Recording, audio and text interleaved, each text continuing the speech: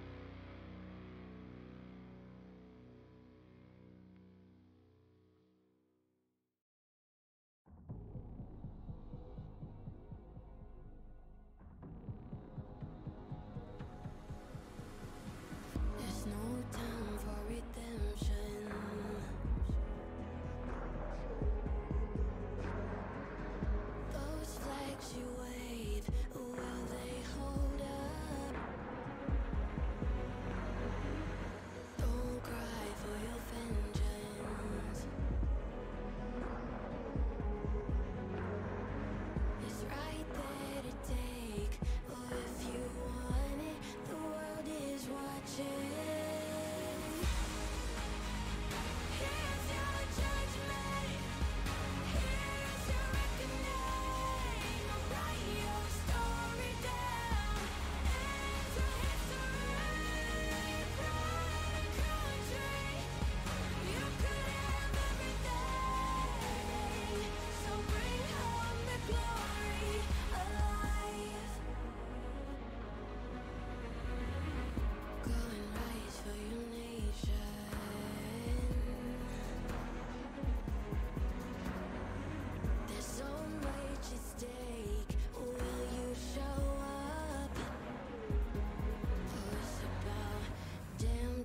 for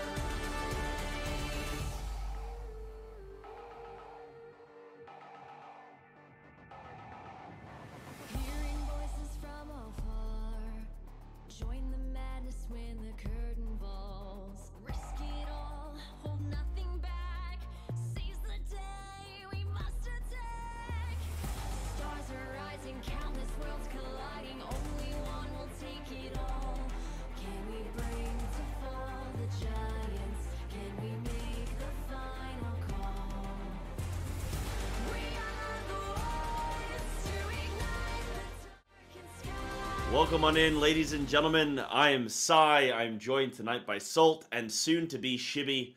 Uh, but for now, Salt, we're going to get into this. This is the quarterfinals now of the Victoris Rival Draft. We are almost at the finish line.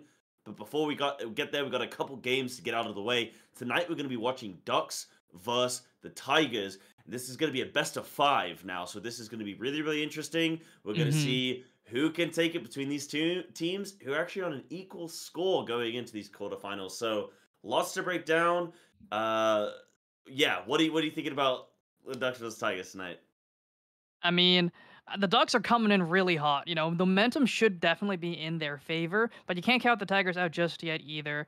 But I mean, the Ducks did pick up a pretty solid ADC. They also won against the ADC that they did end up dropping last week as well. So they are on fire. You know, they're flying high. They're soaring through the skies, and they're looking really solid. And we did get to ask Camcom a couple questions, the captain there of the Ducks, and you know, we asked how the meta really affected them, and overall, uh, the team felt pretty solid. They didn't really change up too many things as they did go in, and they were happy to take their AD, uh, get a new ADC as the you know the weeks did wind down, and they grabbed that one up for themselves. And right before playoffs, they had a huge, huge week, and. For the series specifically, though, uh, they learned Amisan is unable to play for the Tigers tonight, which is very, very unfortunate. And they are role swapping Karthik to ADC and grabbing a D4 jungler for themselves. So uh, they do. It is going to be a little bit rough for on the Tigers because they have lost one of their key carries, but they did bring themselves in a pretty solid jungler. But this, you know, this two one does mean that the Ducks have home side. They have side select, and we'll see where they do end up rolling. You know, what side did they take?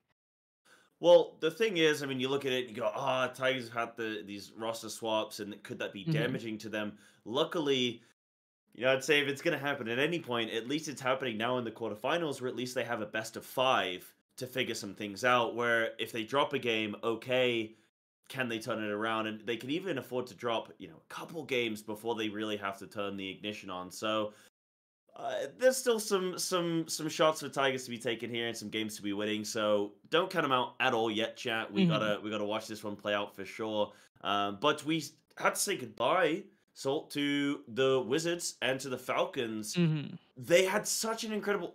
I wasn't here last week, chat. Uh, but they had such an incredible previous week. What happened last week? Where'd they where'd they go?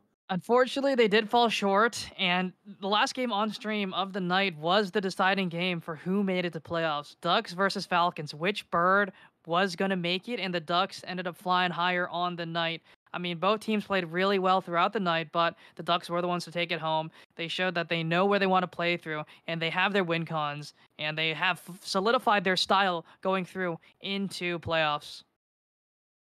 That's uh that's incredible. You know, this whole tournament has been like a nail biter. It's been so back and forth. We've seen so many fluctuations in the standings and it feels like a movie script where we've had some games that have just been so contentious. We had, like I say, not last week, but the previous week, we had the Falcons and the Wizards who were both kind of counted counted out by a lot of a lot of people who Mhm. won every single game, both of them. They they won every single game that they played. So just absolutely incredible. And then uh yeah, now to have the Ducks versus the Falcons, and it was whoever wins that last game of the night is gonna go through. I mean, y- yeah, I'd say you couldn't write it, you probably could, but just for it to happen that way is really eventful. Um so yeah, I mean looking forward to tonight. We've got the Unicorns versus Guardians. We're not gonna be watching them tonight. We are gonna be focusing on the Ducks versus the Tigers. So, what does it mean now for these teams? Do you want to explain a little bit of the format, Salt, in terms of this quarterfinals, the semifinals, and Mhm. how this is all working? So, f- top four teams make it to playoffs, right? It is double elimination. So, on the top bracket in semifinals one, we have the Unicorns and the Guardians, first and second seed, taken on each other tonight. And the Unicorns do have head-to-head there, so they have ho- they have side select, so they can grab whatever they want game one. And the winner of that will move over to the grand finals there, as you can see in that little bracket thing courtesy of Victoris there. They will take that first spot. They will get home side and they will get to choose what they want for the final for the grand finals, right? And on the bottom side, in quarterfinals, we have the Ducks versus the Tigers, and whoever wins this game moves on to the lose losers finals or semifinals two, where they take on the losers of semi of, of game one or match one and see who dukes it out and brings their A game on the night, which is next week. We'll see that match happening then. And finally, week three of playoffs, which is grand finals, get to see who is going to bring home the entirety of this tournament. So, who, realistically, whoever makes it out of this match right here is getting paid. They're making money. They're happy, right? They're going to have a great old time. Yeah, absolutely. Uh, the money's the thing that you're playing for. So, you want to get those ranks, you want to get that money. If you can get into that position when you're at least winning something, that just feels all that more real, especially when you're competing in tournaments. It feels good to be in the money, you know, to mm-hmm. to make it that far. But as you're mentioning, it is it is the last resort now for Ducks versus Tiger. Well, the Ducks and the Tigers, because mm-hmm. at least with the Unicorns and the Guardians, if they lose a, a game tonight or they lose the series tonight, that's okay because they will still be continuing on in like the lower bracket of the of the semifinals. So they're, they're safe for at least another game. Whereas for the Ducks and the Tigers, this is it now. We are saying goodbye to one of those teams tonight. So everything to kind of play for for them. Uh, any quackers in the chat? Absolutely. Let's see some quacks. Uh, Salt, let me ask you then, between these two teams, how are you feeling? You seem to be a little bit more confident for the Ducks. We mm-hmm. obviously know with some of these roster changes to the Tigers. Do you think uh, in terms of like play style, in terms of caliber of players, in terms of how they're coordinated as a team. What is it for you about the Ducks that you think might take this one? I think having, uh, you know, their, their top side and jungle has been playing very, very well together. I think that's going to be something to worry about. And, you know, Spec, or not Spectral, sorry, Sloth PhD being that big carry in the middle lane, going to be huge. He's going to be popping off. That's what happened last week. That's what's going to happen again. He's playing very, very well.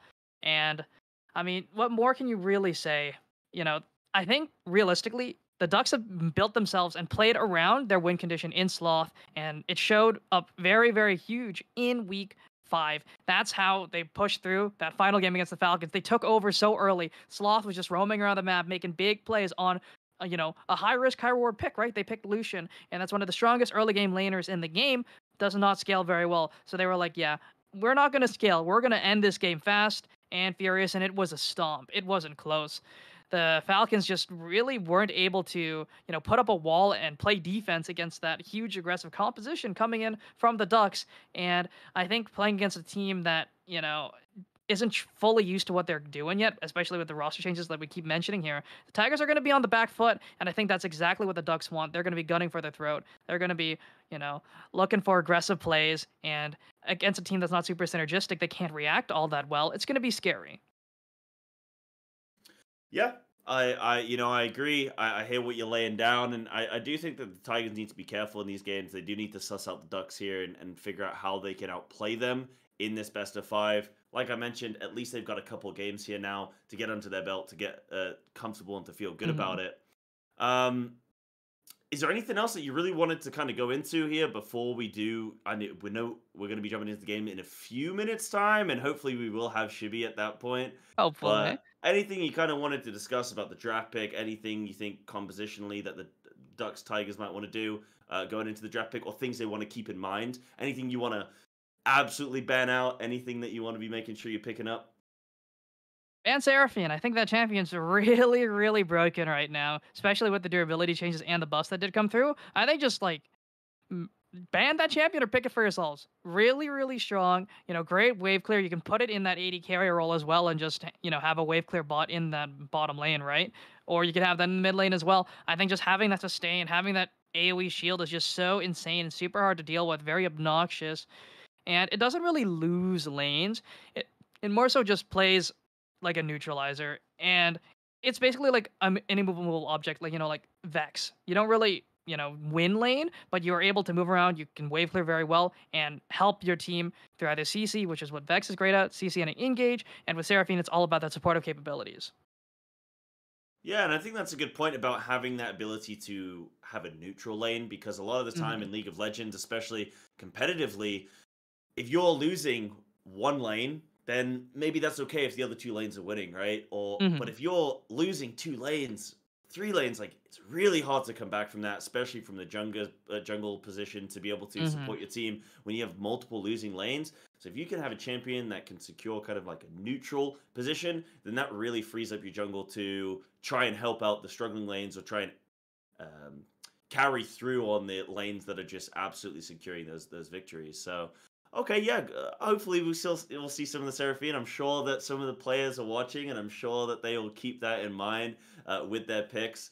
Um, but have you had a chance to speak to any of the players? I know that we're into week six now. Have you had a chance to Mhm. talk to some of the players and get kind of their feelings this at this stage in the tournament?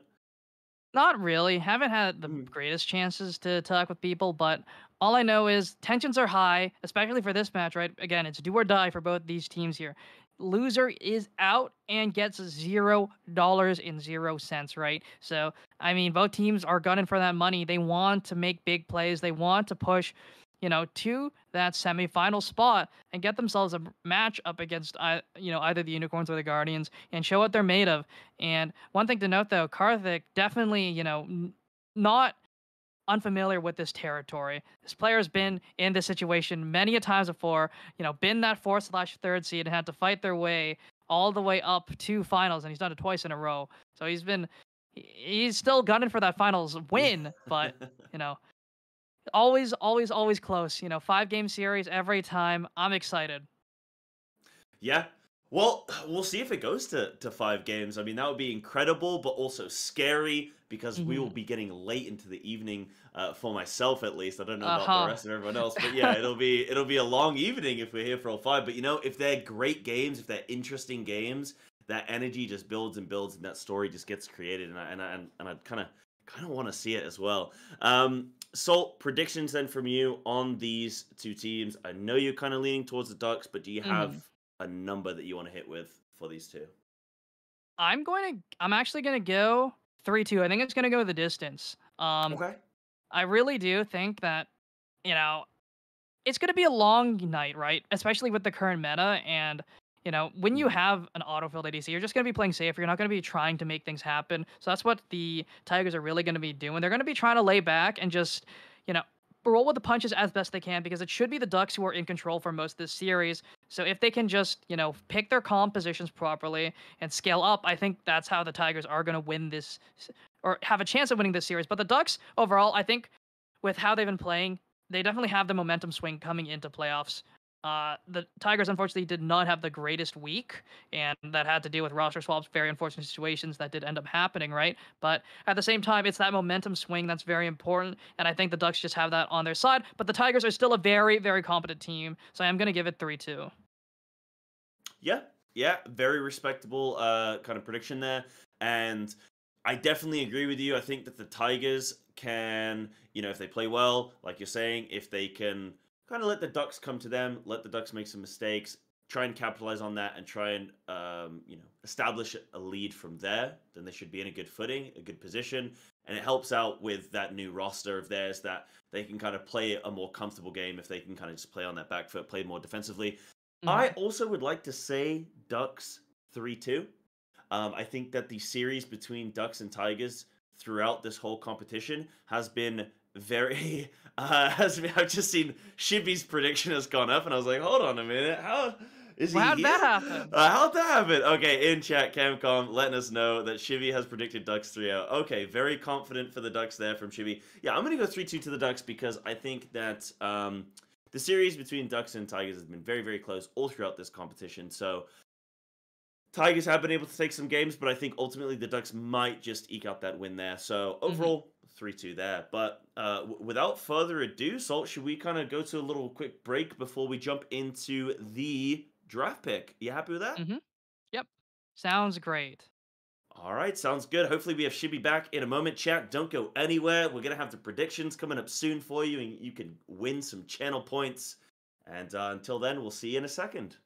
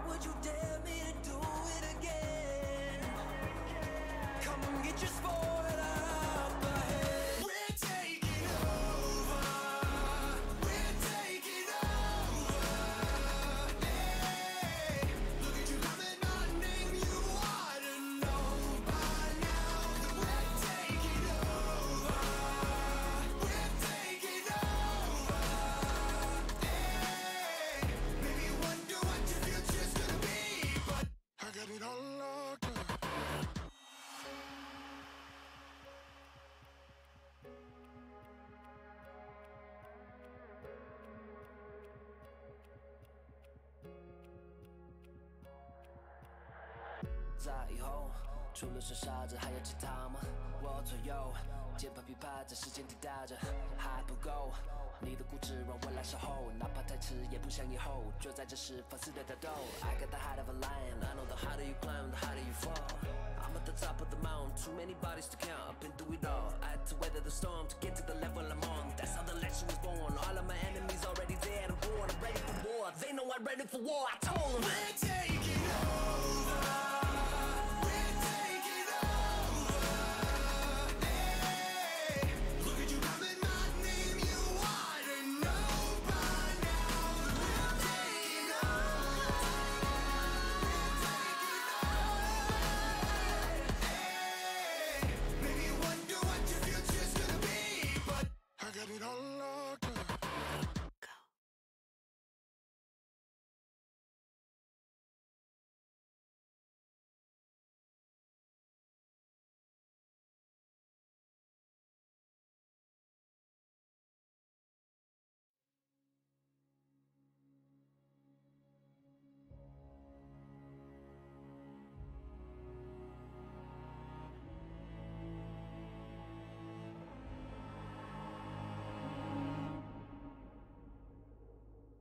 As a child, you would wait and watch from far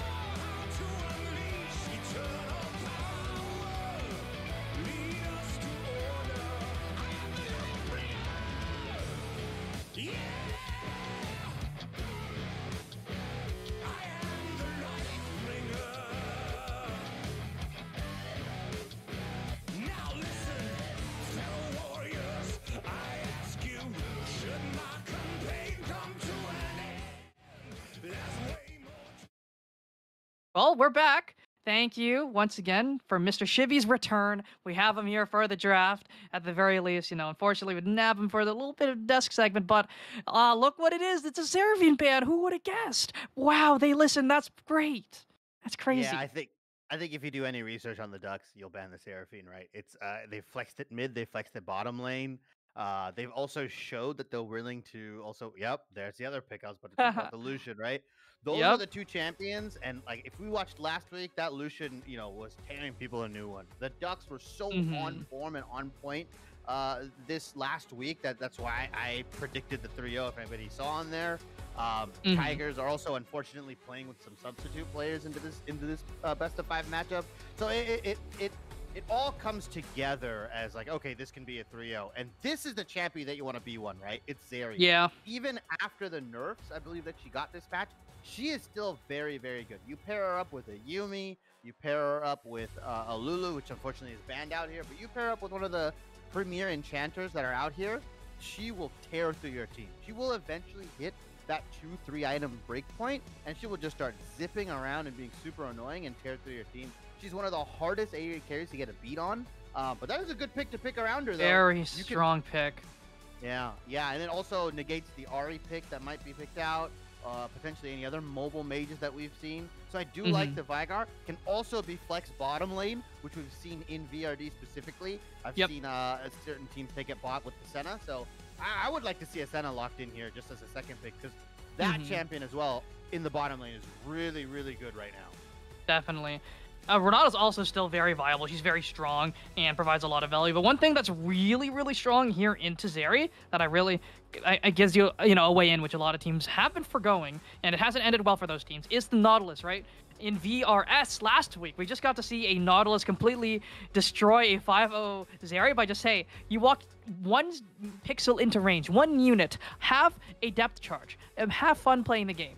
And the Morgana's going to be grabbed up here for the Ducks, and that's very, you know, it's a great response here to this Veigar and this Renata. Denies a lot of their CC, but again, you only have the Black Shield on one target. But the Xin Zhao with the buffs, you know, still a very strong early game jungler who's allowed to affect those lanes very, very early and change the tide of the game. And that's exactly what we've seen this duo of Sloth and Neurosynaptic do throughout, you know, last week specifically.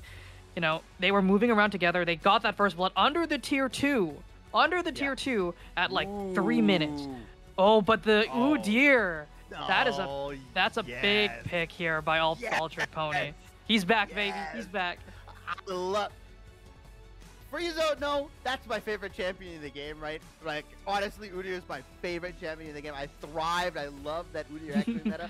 I still think he's amazing right now. He can still full Mhm. clear before 315. The meta has slowed down a bit. Durability is in. Like, this champion is very, very good. Hopefully, he's seen um, Cole Throws, who's on CB LOL. Cole Throws, uh, Udyr guy. He's the number one Udyr right now in NA, and he's got an insane guide. You build, you go lethal tempo, you go full tank, you go Sunfire Cape into Frozen Heart, into Force of Nature, and you just become this Phoenix stance monster that can apply multiple Phoenix stance procs with lethal tempo going on. So very, very solid pick here. Gonna be kind of hard to pick against the Zeri and the Mhm. Morgana, but a very solid pick into Xin Zhao, right? Because at one point or another, Udyr just beats you, right? Early game he Mhm. doesn't, but at post level six, once he gets his first item, he just starts tearing through you. And the Jinx Mhm. and the Yone being banned out from the Ducks here, do, doing their research, good job. Actually, banning the Illaoi, so going for this favorable top matchup. I think they think this Veigar is going bottom lane. That's why. Hmm I mean, the Yone pick definitely does lean, t- or Yone ban does lean towards this being a Veigar bot, and it, I think Veigar is one of the best autofill ADC picks you can grab right now. But they're gonna grab the Tristana, and that's still flexible. You can put the Yep. Tristana in the mid Yep. lane and the bot lane, so it's definitely perfectly fine picking that one because you're you could still hopefully end up with a somewhat favorable matchup though. I think Tristana's really solid into Zeri though. You know, punish her when she's at her weakest to end that early game. But the Ornn can be grabbed up here, and that is why you ban Illaoi. Ornn cannot do anything into that champion in lane. She, I, Gnar's not great into Illaoi either, but both those champs, you know, very, very good at neutralizing lanes. Nara can win a lot of lanes and has some great CC, great team fighting uh, capabilities as well. And with the durability patch, you know, he's also a better side laner than before. We'll see what they round out their comp with, though.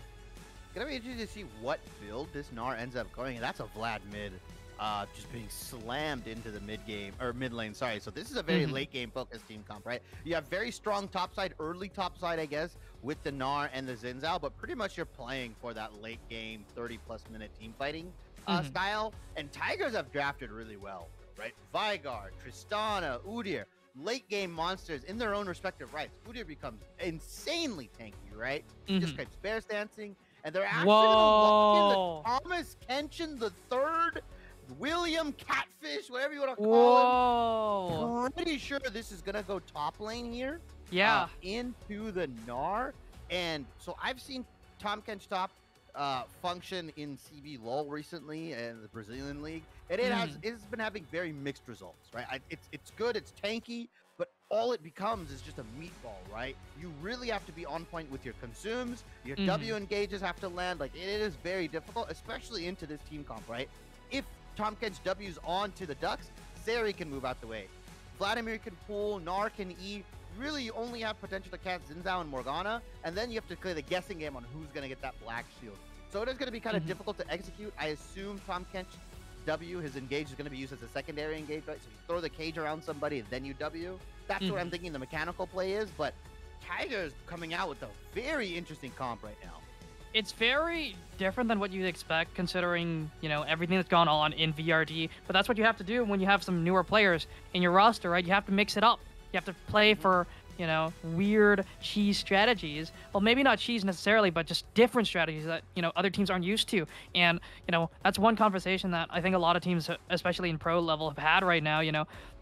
When international comes around picking random stuff can work out very very well because a lot of the top teams are just not used to those picks. And you know grabbing them up into the ducks who have you know gotten confident in their style this may be a way to actually you know push them out of their comfort zone. They have nice picks that they're used to but having these odd picks that you're not used to seeing may be the way to win them and take game one Yeah, the beefy, beefy team comp, team comp coming out for the Tigers, right? They definitely just look to Mhm. front to back here, right? Tahm Kench, Udyr, you have Veigar and Tristana pumping out the damage, and Dog Renata, I think, is obvious. I think one of the best ones we've seen in VRD, right? I, wanted to give him like really. I think I give, wanted to give him MVP. One of the games we saw him play in the early weeks, where his Renata Qs have just been so on point every single time he was able to land the stun. And Mhm. even his ultimates have been hitting three, four man ones consistently. Obviously, the Renata ults are more impactful the more levels you get into it, right? Usually around this um, rank 11 or rank 2, sorry, level 11, rank 2 Renata Mhm. ultimates when you start really seeing the impact because it ups the amount of time that they're uh, frenzied or berserked or whatever, or taunted, and they're hitting their teammates. You can start getting some serious damage down simply from just hitting that ultimate onto a Zeri, onto a Xin Zhao, Mhm. and just having them kill their own teammates. Very, very true. And I think Renata just provides a lot of value, a lot of utility, and exactly what you want as, as that support. I think Morgana is very good at what she's good at, but doesn't really provide all that much outside of that. She has good CC, but it's not the easiest to follow up on. She has the Black Shield to prevent CC, but against a comp like Udyr, like Veigar, that Black Shield will barely do anything because the Udyr could really like once that shield is placed, the Udyr just has to spam Phoenix, and that thing is gone in one auto. hmm And you could also play around the timing as well, Mhm. right? Like Black Shield goes down, you just target somebody else that doesn't have Black Shield, Exactly, right? that's There- true as well. Guessing game. Yeah, there is a guessing game that comes in with the Morgana, and like you said, she hyper indexes really well into what she does. But other than that, like the Renata's a very good all arounder. She has Mm-hmm. solid CC. She has a very team. She's a team fight affecting ultimate. She's even got like a, a pseudo revive passive. I don't. I, I hesitate to call it a revive, as it's more of Mhm. kind of like a, a zombie form, right? And then Right. it revives you. And she also comes with the shield at a slow. Like she provides a lot of everything, um, which in some of these best of fives, and especially in Dog Hugger's very capable hands, he could he could really do some work into this lane. Now Karthik is uh, in that bottom lane role with the Tristana here. So Mhm. Tristana Renata versus the Zeri Morgana. So there's no odd lane assignments. It, every all these champions where we think we're gonna go, they're gonna go. Veigar's going mid, Udyr's going jungle. Uh, so I, I, like Tiger's team comp, but I think just Ducks have been more on form, and I am gonna predict them just for the like I said the 3-0. I think they Mhm. can still win this, even post draft.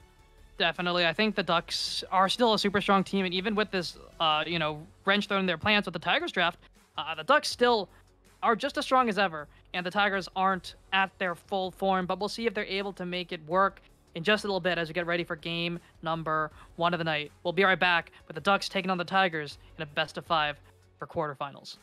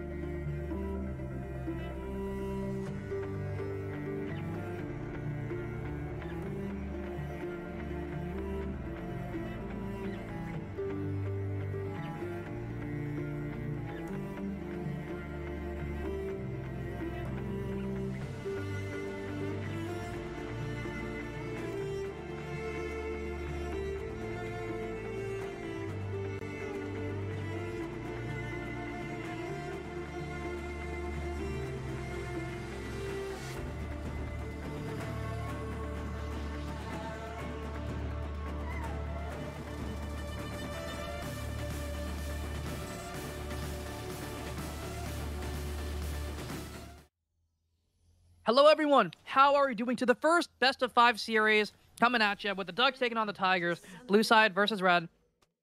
And first series quarterfinals, and it's do or die for both of these teams because they are in the lower bracket. This is not double elimination for them. This is single elimination. Every game, it could be, spell their end. So we'll see who takes it home. And so far, you know, it's just looking like five stacks for I or yeah, 5 Uh-huh. points for every team. Five points for every team. They're just chilling. I don't want to. They don't Yeah, want to walk too far forward. that's how it usually breaks out in best of fives. From what I've seen, is that first game or two they'll five point defense, and if we get to that like fourth game, fifth game mark, or even third game, then you'll start seeing some like cheeky invades. You'll start Mhm. seeing some like wacky stuff happening where five members go down to the bottom side or the bottom lane bush and try to do some crazy stuff. So I I think five point defense is pretty standard.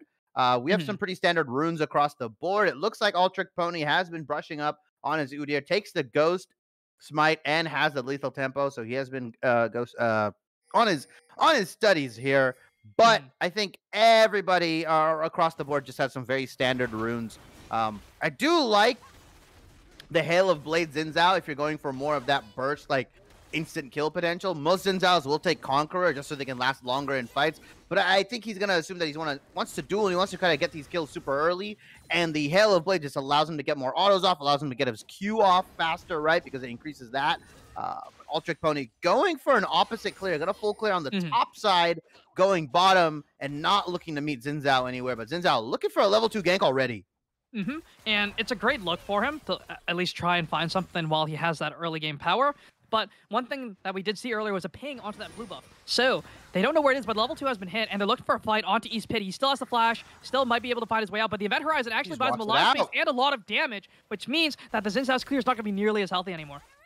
No, I'm not going to be healthy. Udyr can potentially look to take his Raptors and just go straight into Xin Zhao's jungle to see if he can bully him out. Because Xin Zhao, Zinzao has to pop all his pots. He has nothing left. Udyr, on the hand, is full health uh, after he pops his pot. Gonna see if he actually goes in and tries to risk invading the Xin Zhao on uh, such a low health.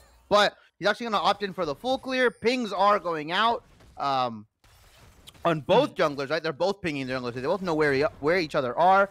Tristana and Renata are going to get natural shove onto this just because of Tristana's passive, but additionally, Gnar is going to have the push and the shove onto Tahm Kench just because of that ranged form that he can abuse. Hmm And you know, going the conquer here on this Tahm or on this Gnar is actually pretty smart. Um, we'll be looking for the extended fights, but they find the route onto Dog Hugger, but can't really capitalize too much. It's some return damage going forward, but overall, just an even trade for the most part. Health bars are you know looking as they should. Yeah, it's going to be a pretty slow, uh, I would say, early game for right now. Just as these teams are starting to warm up. I mean, we mentioned, I think, offline that the Tigers went straight from like a 40 minute normal game right into the draft as well. So like they're they're they're warming up. They're finally warmed up, and I think they're just gonna try to take this game slow, uh, which is probably gonna work out in the Ducks' favor because they have a Vlad, because they have a Zeri. These champions tend to scale super super well. Their late game damage is kind of insane, and yes, Veigar has a lot of burst late game, but he's not going to be bursting out of Vlad anytime soon, right? Mhm. Pool is available, Zhonya's is going to be available. There's going to be so many tools to avoid this uh, Veigar burst, in my opinion.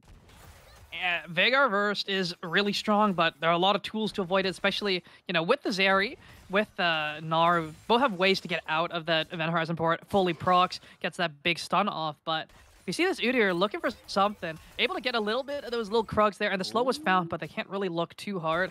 But look at that CS difference in the jungle alone. 10 Yep. CS up. That is so insane. But that's the power of the Yeah. deer, baby. Yeah, and we that's see the god deer. trades. We do see trading. We do see some trading, and Udyr's just going to reset, going to go to his Krugs uh, and take that. And he's honestly, this is doing looking really good for him. Xin Zhao's not able to get really any good early game pressure down, other than that mid gank that didn't really surmount amount to much. And Mhm. Udyr is completely content on farming up, getting his items. There have been some buffs to tank items as well. They're cheaper now, uh, and they do a lot more. They're a lot more effective. They right? I more HP. Yeah, they give more HP. So I mean, Udyr is in a fine spot right now, and he has the potential to take this game over once the mid mhm. game happens. Definitely. And even if the Vlad is fed, the Udyr just gets so tanky, it's hard to deal with him. Again, they're looking for East Pity, and the Red Horizon does not land in time. They find the knock up, the flash mm-hmm. away, and they could look for a play here. Sloth has the pool, but Oh, cannot Sloth. commit for any more. Uh, just tanks two tower shots here, and another gank comes out. They finally get East Pity. They get his flash at the very least. But Oh. Udyr is here. Fight! East Pity's taking so much damage, and he's able to get Oh. first blood. Sloth PhD finds the big play, but Pony going in for the play. Ontario Snaptic, he has no flash. He's trying to get away, trying to run to those chickens, and he is able to, but Torchy's there first as well. It is a 2 for Torchy. 2v2. They get the smite to heal up, but look at that damage coming in from Ultric Pony, and that's the Udyr. He's too strong, he's too tanky, and he just does too much damage because he got the first base off. Yep, he has he has the he has the he had Bammy Cinder to no items on the Xin Zhao, right? Xin Zhao didn't bank. He did he did not have the serrated Dirk there, so that's why he was. It felt like he was doing no damage against the Udyr. A bit of a misplay coming out from Torchy though. He could have probably W'd on to Sloth PhD there. Sloth had no flash, no ghost, anything. Ended up trying to W onto the Xin Zhao just to secure the kill. Uh, but overall, one for one trade. Sloth PhD does get the kill, and I think that kill is a lot more impactful right now than the Udyr kill, just because of ramping that Vlad forward can get Mhm. very, very scary. gotta you gotta remember those dark shield stacks as well. You know, always Mhm. you know. Again, on Vlad, double scaling. You get more HP and you get more AP coming in from that single item, and every single stack just matters that much more as that Vladimir. And KL Paul getting a little antsy there under the tower, taking a decent chunk of damage, but Torchy is suffering here a little bit.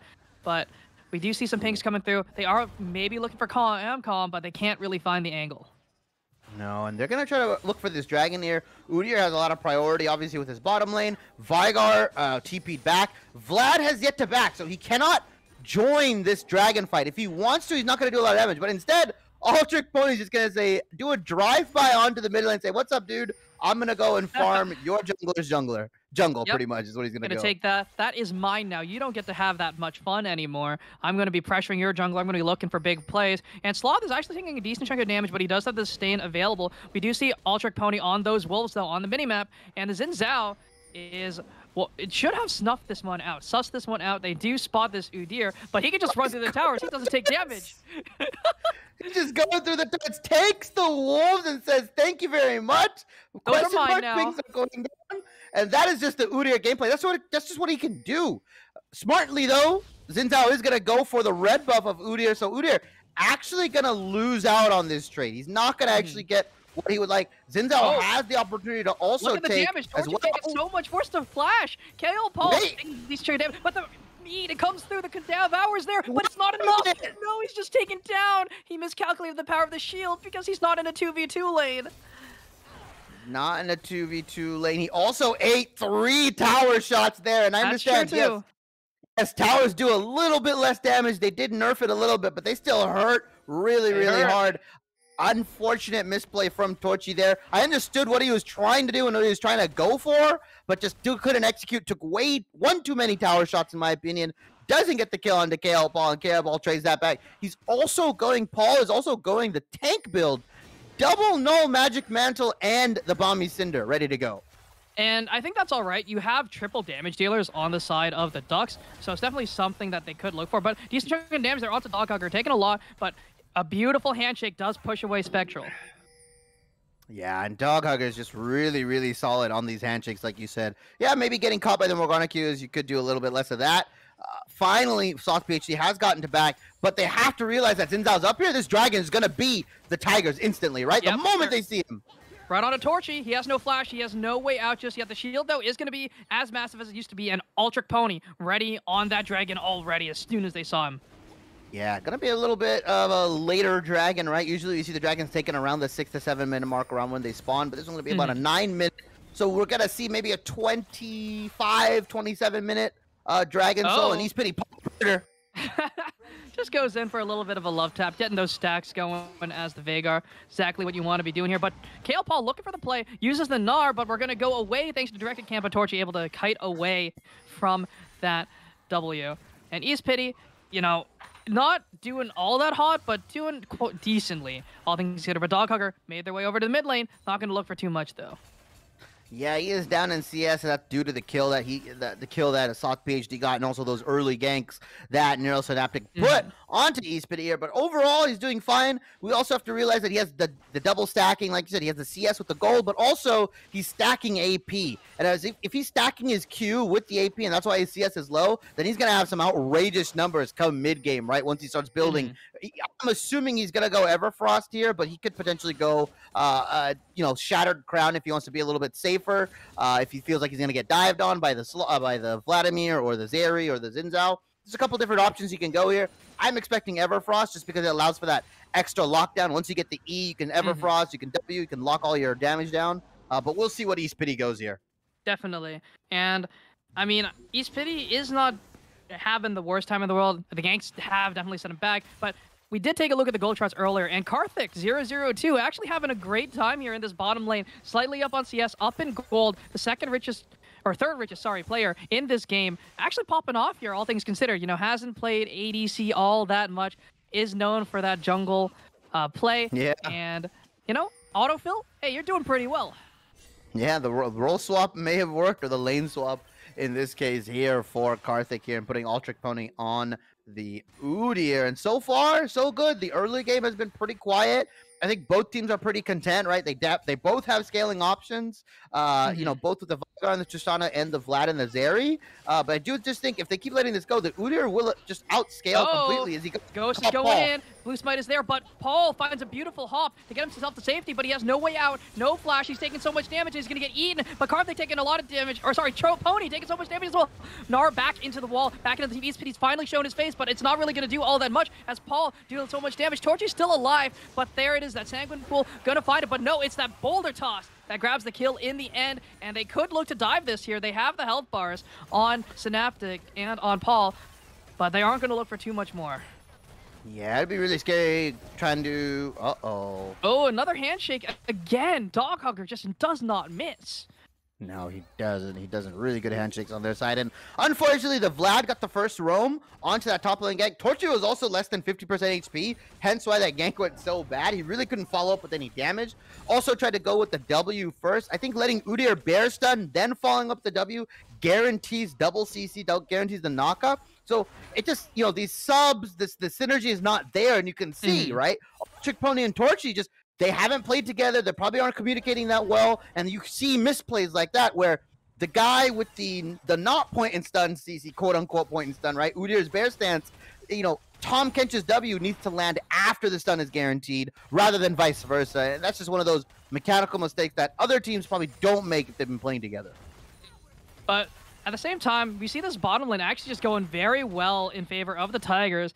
And, you know, the ADC that the Ducks wanted, not performing as well as the other jungler, but Pony taking a decent chunk of damage from Neural Synaptic, has lethal tempo, but Vlad is there first. Sloth PhD, look for the big play, but it's going to be the. Event Horizon lands first. There's a lot of damage. The Berserk is there as well. They're trying to trade it back, but Dog Hugger's not really providing all that much, but a beautiful play from. Pony, and the Triumph is there as well. He's going to get Karthik over the wall, and the revive might just be enough. One more auto will do, but they cannot find it. Karthik gonna get rooted up. They're looking for the play here, but Sloth PhD does find that kill as well. As Zeri going for. The cleanse has been used. East Pity trying to deal as much damage as he can. He- No primarily burst just yet. It's very close, very soon. Flash over the wall. The slow is not gonna be on, but a beautiful knockup is not there. And Torchy's trying to find anything, but the flash forward and the primordial burst finds the kill, but Renata's taken down on the edge. Paul has Oh, found his way down in this fight as well, but it's just turning awry. It's going wrong, and it's gone all in favor of the Ducks. They're flying high, they're soaring, and Torchy is just not the game for him today. He's a little fish, and the Ducks are predators. They're gonna take him down as well.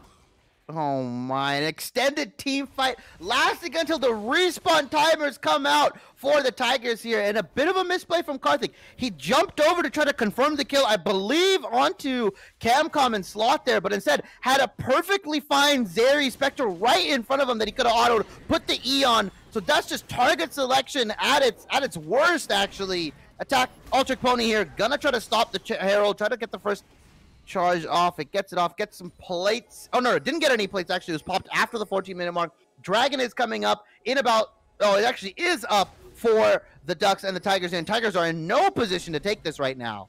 No, they're not. They're there first, though, but we see the teleport coming through. Camcom gonna take a decent chunk of damage here from East Pity, already getting chunked out right before this. And Pony doing a lot of damage, but another handshake lands. He'll snap to going in for it, uses that Crescent Guard to buy as much space as he can. Finds Skullcugger first.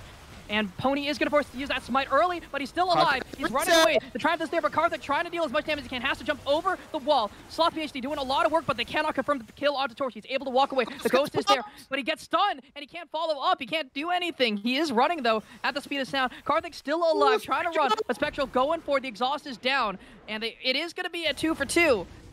But the Dragon going in favor of the Ducks. Yeah, they're gonna get this dragon. They're gonna stop all any any and all dragon stacking that the Tigers would have wanted to do here. They're instead gonna take the dragon for themselves. Cloud Soul is up on the menu, and that is just beautiful if you're the Ducks, right? Vladimir, Zeri, Xin Zhao, all these champions, Morgana as well, greatly benefits from the Cloud Soul passive, right? You get that mm-hmm. extra movement speed, that huge burst, right? When you pop your ultimate, allows you to stick onto your targets. Very, very scary. Oh, they are looking for the play here. It's a 2v2. Sloth going to be forced to use that pool. Pony looking for the play. There is that blue smite down. He's stunned up, rooted up, and taken down. The Oh. shutdown's given over to the Udyr, though. And it should have gone a pity. Yeah, I would have just tried to give that over as best as I can, but maybe they were scared that Vlad would be able to get out. Maybe he had flash. Maybe they didn't want counting summoners. Torchy got a W out here. Paul trading a lot though.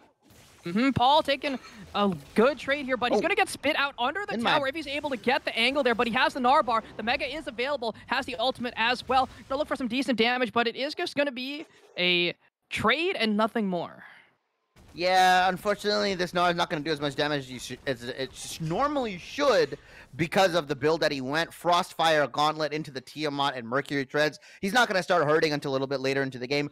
Gonna be interesting to see, though. Since he built this way, he's probably not looking to side lane as much. Wants to team fight a lot, which I think is Mhm. smart. Right? You have your Vlad, you have your Zeri. You just need to be that beefy frontline tank that CC somebody the moment they get close.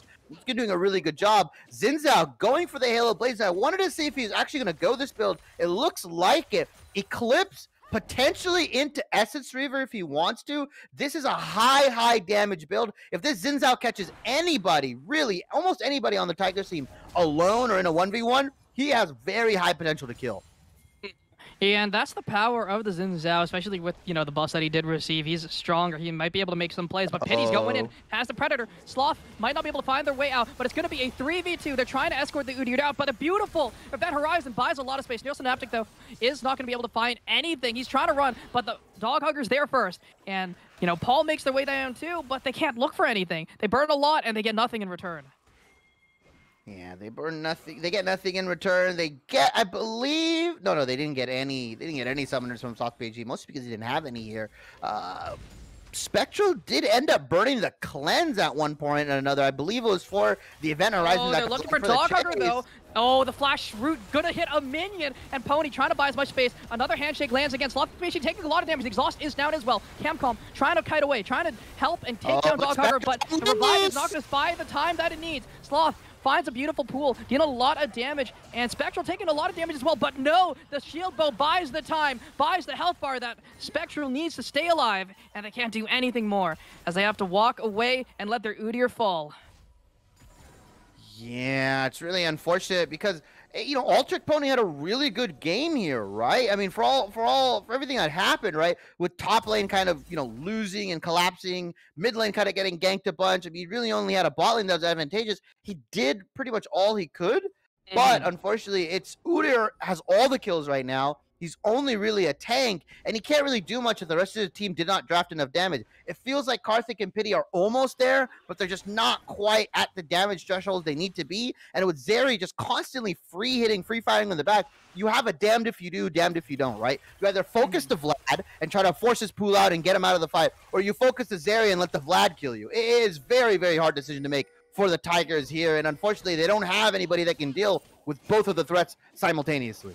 Mhm. And I mean, it all has to come down to draft here, right? But we see that Kale Paul finding a beautiful trade here onto Torch, taking a lot of damage. He's not able to walk away, trying to find the distance, buy the space. The shield is there, but again, the ground is going to be used. The Devourer is there, but Dog Hugger's there first. Forced to flash away. Karthik going over the wall, using that jump, but the Shurelya's Reverie is there to buy some space, but they can't really do all that much, and they only burn cooldowns and nothing more. Yeah, Kale Paul uses has to use his flash there, so really good from him understanding that Dog Hugger and probably Karthik were on the way here. Camcom having a fantastic game on the Morgana, 1-0 and 8 right now. And they've said it themselves, right? The Yeah. Ducks have said that their bot lane is not a win lane kind of lane. They prefer, you know, honestly, to just kind of play whatever is they feel like playing. If they win lane, that's fine. But they've been winning games, and that's all that's important for them, and it's been working out. I mean, they've they're Oh, playing. they're looking for the play on the pity. lanes. Oh, Pity's Pity? in a rough position here. It is going to be a 4v1, but the Event Horizon does buy a decent amount of space, and they're looking for a play on the top side. Torchy does have Okay. TP. Dragon's up in seven seconds, and they're going to look to try and rush down this Baron. They have a lot of damage. Oh, but they're not there fast enough. They're going to make No, it. they They're can't do it. They can't do it. They can't do it. Oh, no. Is this the play they're looking for? It's 7k. They're going in. Neurosynaptic does Oh, have a beautiful. crescent guard, but here comes the Berserk. It lands onto two. They're trying to deal some decent damage, but Neurosynaptic is the one who's caught out here, taking so much damage. Finally shut down, but Zeri is there. Zeri is joining the fight, and he's moving at the speed of sound. Karthik trying to run for the hills. KL Paul tries to find the boomerang, cannot do so, but they find Dog Hugger in response. It is a one for one, but they stop the Baron attempt, and Torchy stuck behind enemy lines, taking so much damage. Just autoing, doing so much damage. But look, he finds the Devour, tries to find the damage, and he cannot find the second Tongue Lash, and Spectral takes the kill. And that was a ballsy Baron player, right? Maybe not the best call, but I understand why you did it. You see four bottom, you got to try to at least attempt the Baron. There was just not enough damage coming out from the Tigers there. They really only had Tristana and Udyr, and Udyr is pretty much a tank at this point of the way he built. So Tahm Kench, Udyr, and and Renata aren't going to be able to provide that extra damage you need. It's really only Tristana hitting it, and that was just not enough. They couldn't get the Baron down. I think within 20 seconds, they got it down to like 9k. And by the time that happened, Neural Synaptic flew, dove in with the crescent guard, and it was it was pretty much a, a one fight from there, right? You do mm-hmm. you are able to trade one back, but I think they went two for one overall. Yeah, they did get something in return for that big play and stop the Baron, which is really, really important. It looks like desperation coming out of the Tigers already, 21 minutes into this game. They saw an opportunity, they tried to take it, just not at those item breakpoints yet. The Zeri already finished the Phantom Dancer Karthik, not there just yet, you know, a little bit behind in these gold numbers. Ducks have been, you know, performing very, very well. They're up 4K, and they are positioned around this top side because there's no other objectives available on the map.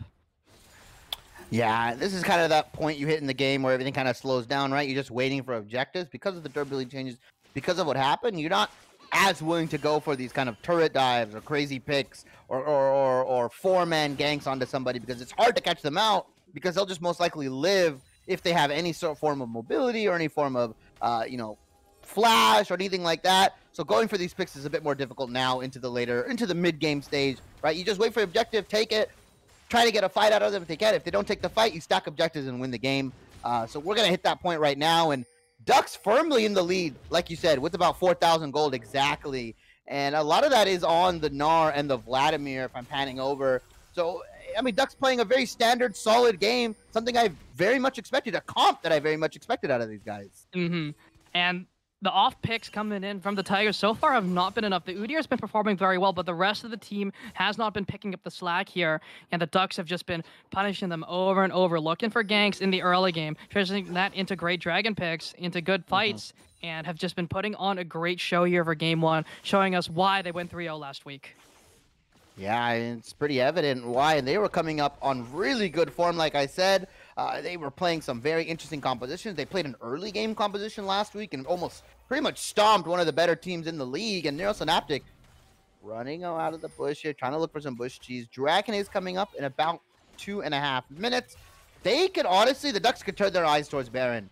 They can really go for this, start it, force a fight. That's what you want to do when you're this far ahead, about 4,000 gold. And you look at the items, you pan over, you say, okay, you know what? Let's start Baron. Let's try to bait the Tigers into a fight, kill their most important members, and then redo the Baron. Instead, they're just kind of waiting around, ping ponging lanes. And if you're in the team in the lead, you don't want to keep doing this, right? You don't want to keep just shoving gold back into the team that has uh, that is in the disadvantage. You want to make them work for every single CS. You want to make them work for every single decision and make them critically think. If I give up these waves and I try to contest this Baron, what happens? Will we die? Will we lose the game? But if you're just ping ponging lanes back and forth, you're giving the team an opportunity to scale up, potentially get gold, and really get back into the game. Mhm. If the gold lead does stay stagnant, you know, the gold percentage gap does drop over time, and that's something to always think about. As long as mm-hmm. you can maintain this small goal, or you can, you need to grow this gold lead if you're the team ahead. You need to try and, you know, limit how much this gold lead grows as the team from behind. And, you know, the Tigers are trying their best to neutralize this game, get their Veigar those stacks, get their uh, get their Udyr some items in the back pocket, and maybe let the Tristana get some items as well, who's a little bit behind. They need to try and buy some time for themselves here without bleeding out too much. They need to know what to give and what to take.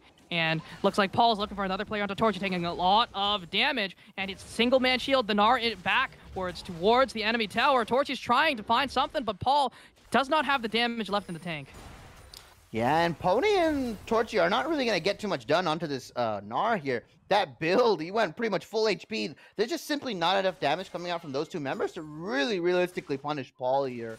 So I think Udyr should just be looking to farm, looking to get some camps, like you said, shove waves, split if he can. He's not going to be able to contest this dragon, which is fine. It is only the third Drake. But once it hits fourth Drake, then we'll see. Will Tigers make the decision to contest it, or they would, would they want to flip it on Elder because they're not so afraid of a team hmm. getting Cloud Soul? I, I would opt into giving up Cloud Soul if you don't have the positioning, right? It is just Cloud at the end of the day. 40 seconds left on the clock before that soul point does spawn up. I think they should just try and farm it out.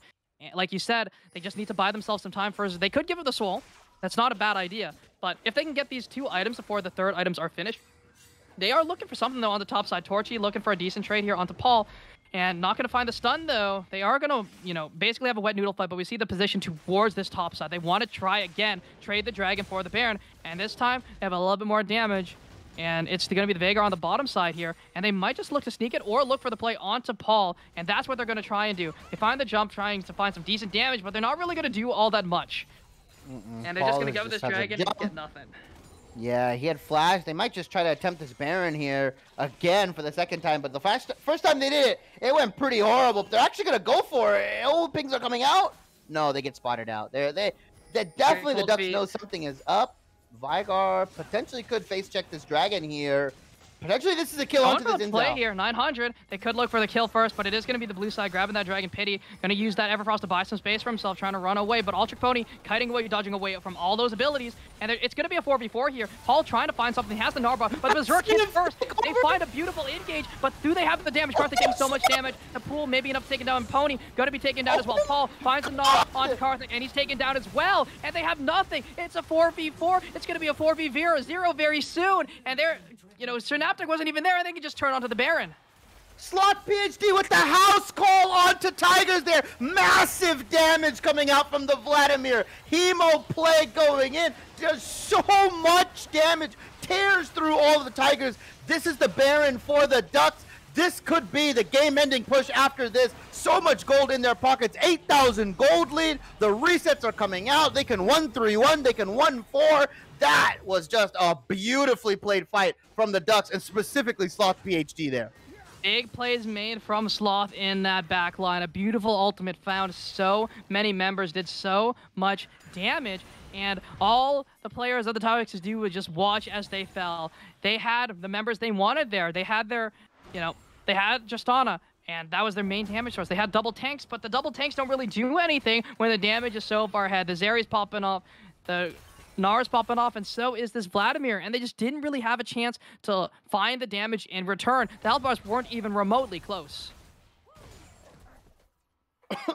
Sorry, apologies. I was just choking on water for a second. Uh, yeah, i- i- you're correct, right? It is just they're so far ahead. The Ducks right now. They have the Baron in hand. They really Oh, need they're to do a game something here.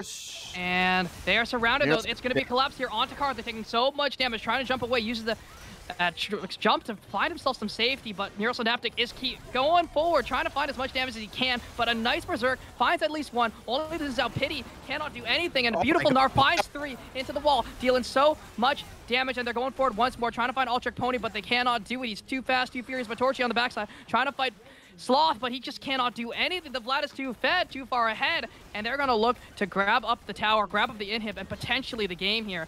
Two Yeah. members are dead. Yeah, they get in the game here. It's just Karthik right now and some tanks. I don't know if that's enough. Spectral can keep hitting. Vladimir's also coming up soon. He's actually going to push in the bot lane, potentially look for that uh, double in hit. But I think Ducks are they they want to go for the kill here.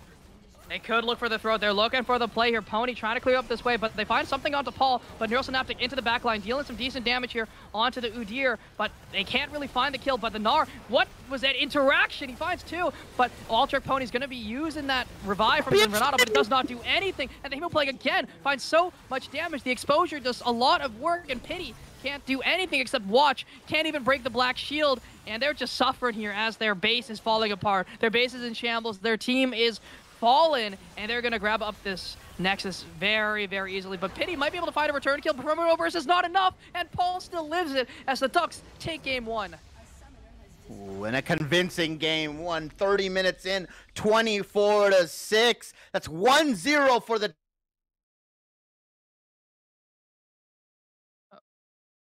Uh, okay.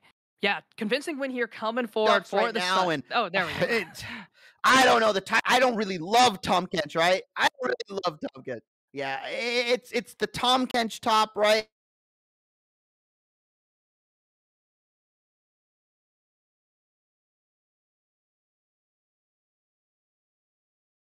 Lane, but the Ducks' MO is really to Mhm. win their bot lane, right? They play through Sloth PhD, they play through Neural Synaptic, and then after, when it gets to the mid to late game, then Spectral and Camcom really pop off. That's where they can show their gusto. That's where they can show their Mhm. specialty, right? And granted, I wouldn't really consider 27 to 30 minutes late game. That's like later mid game, but still, that's where they start scaling. That's where they start really putting in the work.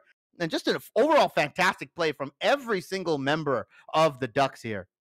Hmm They put in the work, they put in the hours, and they're trying to take what's theirs. And well, had to do it. Had to do it. You you, you set that up. You set Yeah, that up. true. It had to be It's done. true. It had to be done. And real quick though, we'll be heading over to a quick break as we get rolling here for game number two of the best of five series. We still have at least two more games left in the tank, so we'll be right back as we get things rolling. You don't want to miss it.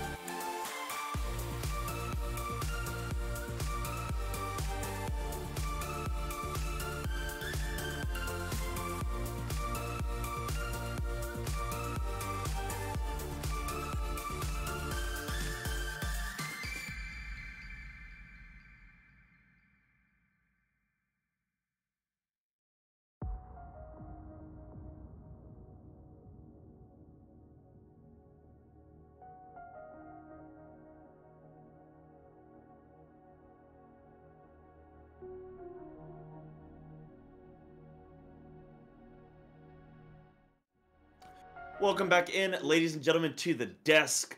We are wrapping up after that game number one in this best of five between the Ducks and the Tigers, and what a absolute smashing of a game uh, game one was. Salt talked me through that one. It seemed like maybe the Kench uh, needed to be benched. Yeah, the top Kench didn't really look all that hot. It was okay, it didn't really win lane and it didn't really do anything after lane either. Its roams weren't there. It didn't really provide all that much value. Although it did it was it was somewhat neutral there for a while, but then eventually the Gnar just started popping off, dealing a lot of damage, abusing the range. Uh, because that Tahm Kench does lose or doesn't lose his you know durability as the game does go on and on, but the Gnar just gets stronger, does more percent health damage as well, and that's really where you know the beating started coming through. At the same time, though, I mean, Sloth PhD was just always there when necessary, popping off. You know, the Vladimir just looked really, really good, and I mean, the bot lane did what they do normally. They lose lane gracefully and then pop off later. But you know, at the very least, the Tigers still have some ways to look for this game. Their bot lane performed decently well, all things considered. But, you know, Altered Pony had a great game. You can't really deny that no matter how the game went. Altered Pony, I think, performed incredibly well overall. Yeah, and it's important to take those little victories when you can find them, and you know, as as the individual players get more comfortable, then that's where the team can start to feel more comfortable and more uh, consolidated. But Shibi, I'm going to throw it to you. Uh, you were discussing mid game as well about the decision for Tigers. They had to either decide do they want to go for the Vlad and commit to trying to kill him, or do they have to go for the Zeri? But then that leaves the Vlad open, and there were these hard decisions for the Tigers to make. They end up at one point going for a Baron. They then get caught out, caught with their pants down, and things kind of go from bad to worse there. Um, what what do you think strategically was kind of the breakdown for for the Tigers? I mean, when you're put in a position like that, when you fall behind early game to like late game champions, right? Things like the Vlad, uh, things like the the Zeri, right? I don't even say they fell behind in the bot lane, but just Vlad was popping off. He was doing so much damage. He was ahead, very ahead of the damage curve, right? He was shredding through the tanks like Tahm Kench, like Udyr. And when you're put in a situation when you're playing behind, that's when those tough decisions, those maybe, you know, decisions that, oh, we just go for the Vlad here, it becomes a lot harder, right? It becomes a lot harder team fight because you have subs in. You know, going for the Baron, yes, of course, it seems like the obvious play. Four people bought. Don't get me wrong. But not understanding your champions, not understanding your damage, that's a whole nother issue, right? They didn't have enough damage. I think it took, what, 4,000 damage in 20 seconds or something crazy like that. It took them so long. It allowed the Ducks to come back into the top lane, wipe them out, and then just reset with the gold. And that's that's those decisions that the Ducks, when in the lead, are forcing teams to make, and those kind of decisions need to be constantly pushed onto the losing team, onto the team that doesn't have gold, because that can force a lot more errors, that can force a lot more mistakes, and in this case, force a team fight in the topside jungle where you lose four, the Baron gets taken, and then you lose the game right after. So a really good play from the Ducks, but also, yeah, it's unfortunate for the Tigers that they're just there's not that much synergy there, and it's apparent. Mhm. Okay, yeah. Anything to add on to that one, Salt? I mean, he basically just said everything that should have been said, right? The Tigers aren't really there when it comes to synergy, and that just has to do with unfortunate roster swaps, unfortunate uh, role placements. So they're making the best of what they have, and you know, all things considered, they had a great early game, and if they can Mhm. develop more of a lead, I think they can actually push forward. But the Ducks so far have a good hold on the series, taking home game one in you know a very convincing fashion. They had the lead and they played with it and popped off with. I mean, there's not much we can really say. The Ducks played well, and the Tigers answered when they could, but it just was not enough, and that just has to do with not having that synergy just yet. But maybe it will develop throughout this series. They have at least two more games to play, and if they want to win this one, five. yeah, they've not got long to pull it all together, but I believe in the Tigers that they can get something done here. Mhm. During the game, you guys are talking about the Ducks as well. I mean, they they did they they did ultimately win the game, but they were, you know, there there were times where they could have pushed their advantage, right? Day 9, he's a just a classic StarCraft 2 caster and he says when ahead, get more ahead. And it took the Ducks time to establish uh, pushing for more and more of a lead. But that's what you want to do in League. You want to take that advantage, you want to run with it, Mhm. and just absolutely prevent your opponent from, from recovering at all. But speaking of recovery, Salt, Shibby, I believe we're ready to jump into the draft in a moment so we can see how the Tigers are going to be getting back up onto their paws. Uh, so, before we do, very, very briefly, I want to know predictions. Uh, well, actually, we don't really need predictions for the second game, do we? Never mind. We'll jump into the draft pick. You guys have a good one. Alrighty, alrighty. We will be rolling very shortly and see where the cards fall. What will the Tigers be one? What do they have in the wheelhouse to grab as that power pick? Because they were the ones who chose blue side for game number two. And I mean, we'll see if the Ducks have the answers because I'm a firm believer that blue side's OP.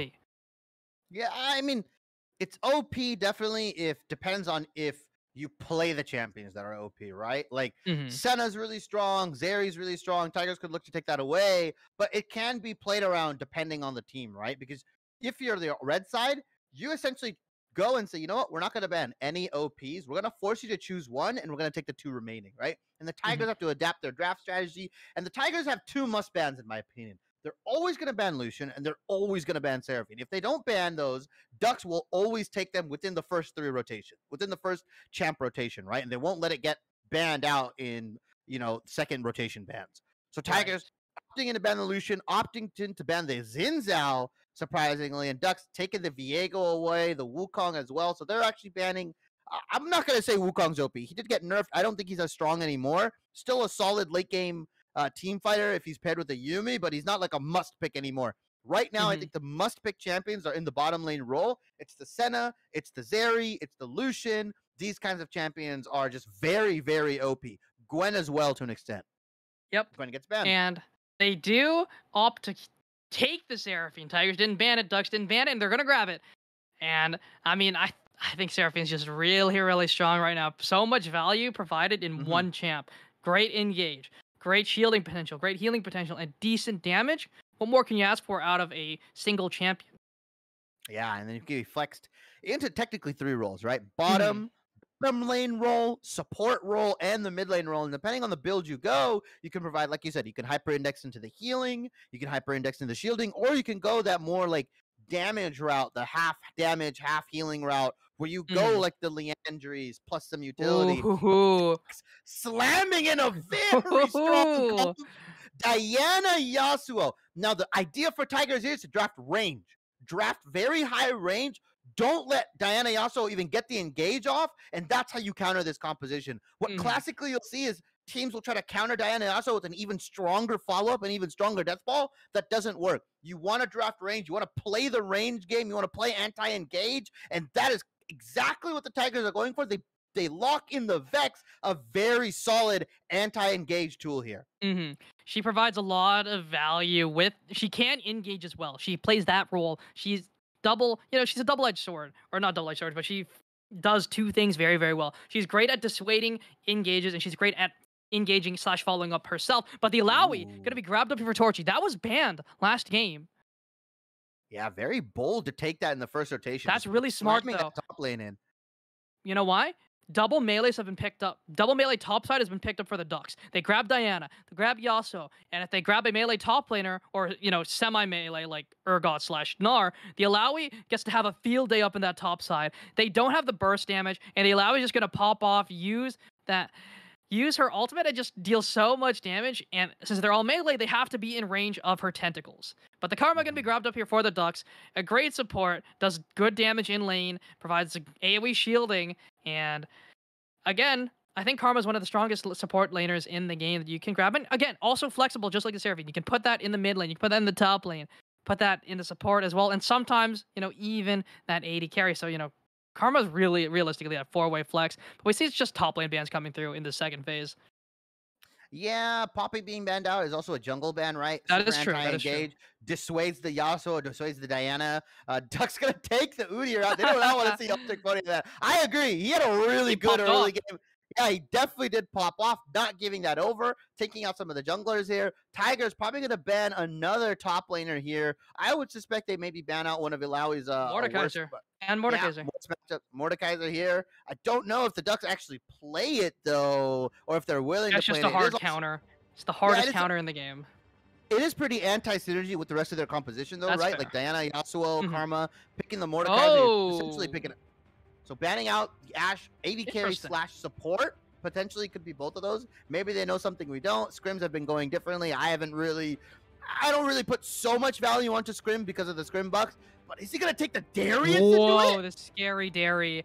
That's a big pick, and it's fares very. It's one of the few melee champs that fares pretty well into the Illaoi. But if she's allowed to get to that level nine breakpoint when she has that fully leveled up E without being Mhm. behind, she's in a much better position to actually deal with this Darius, who does have the issue of you know not scaling all that well. And considering the Ducks have a run into you composition, the Illaoi is very very valuable. She doesn't really want to look for fight. She wants the fight to come to her, and that's exactly what the Ducks have drafted. But the I mean, it's gonna be interesting to see how they play around that big pickup in the top lane. But the Ezreal is gonna be, you know, pretty solid there into Diana Yasuo. Just easily Long gets away. Arcane shift, and again, like you said, long range, low cooldowns is gonna be able to poke out these this really really short range composition coming in from the Ducks. It should be a Lilia. I think if Tigers take Lilia here, it'd be really smart of them. I, I would love it because the Wait, bowling the Lily pick balls, is the turbo sleep. strong here. Yeah. Oh, they're gonna take the Olaf. That's fine. Ragnarok can be popped out. It could definitely Mhm. just kind of burst, or sorry, not burst out in the sense of like getting bursted, but like obviously burst out of the CC, can start hammering away at Yasuo, wins the 1v1, I would say, against every single one of these champions because of how strong Olaf is right now. Mhm. He is a little bit neutered in the jungle, I would say. He's much better when he has a lot more gold into the top lane, uh, but still very much a viable pick. Don't know if I agree with the Kaisa. There's a couple other picks you could go, but it is what it is. They're gonna lock in the Kaisa with the Karma. Kaisa Karma, a pretty classic lane. Gonna see if they opt in for the more hybrid AP build that Kaisa is known for. If they're gonna full index into that Kraken Slayer, uh, PD, uh, IE kind of build that we've seen Kaisa go. Mhm. Essentially, the full AD burst you out kind of comp, uh, kind of Kaisa build. Definitely. And I mean, you have Diana, so you really want her to be solo AP. So we'll see what the Ducks do end up itemizing towards, giving this Diana the potential to, you know, pop off here, deal as much damage as possible. But the main thing that I'm still worried about is their comp is very short range. They have a lot of ways to dive forward, but diving onto an Illaoi, diving straight forward into an Olaf, into a Vex, I don't know how well that goes. I think it's very scary. But if they do get snowballing, if they do get ahead, they can definitely pop off. Yeah, the Tigers composition is very well drafted right now, right? They have the mm-hmm. heals, they have the sustain, they have CC follow, they have counter CC, right? If Diana also will go in, they use all their abilities, but then they get countered by the Vex, by the Seraphine. There is so much return damage coming out from the Tigers. Like you said, the Illaoi tentacles, the Ezra arcane arcane shifts and the uh, mystic shots and the ultimate right you have vex damage coming out if she gets a reset off it could be terrifying right uh, Mhm. ducks have a very one dimensional composition it's Diana hits ER, Yasuo hits R, Kaisa hits R, and you just burst and kill whoever you can, and then Karma pulls up with Mantra Shield so you can keep going. That's all I'm looking at right now. That's all I'm seeing. Uh, Tigers have various ways to play around it. They can bully them out of objectives. They can bully them out of their range, and Ducks may, may never ever seen engage this this game fully five mans if the if the Tigers play it correctly. hmm And I think having the go button though as the Ducks it does allow them to have that. Hey, if we, if even if it's not a perfect engage, we can still look for the pick. The Tigers, it's still they don't really have a super hard go button apart from the Vex, and even so, a lot of their uh, a lot of their follow up, they just have to run. They have to run forward. So they are a peel back, stand their ground sort of composition, while the Ducks have to look to go in. If the Tigers play around that, I think they definitely have a great way to play this one out. Yeah, and unfortunately, we have a little bit of technical difficulties. The lobby that was made was not a draft lobby; it was a blind pick lobby. Don't really know if that affects anything, unless No, no bans, no pauses.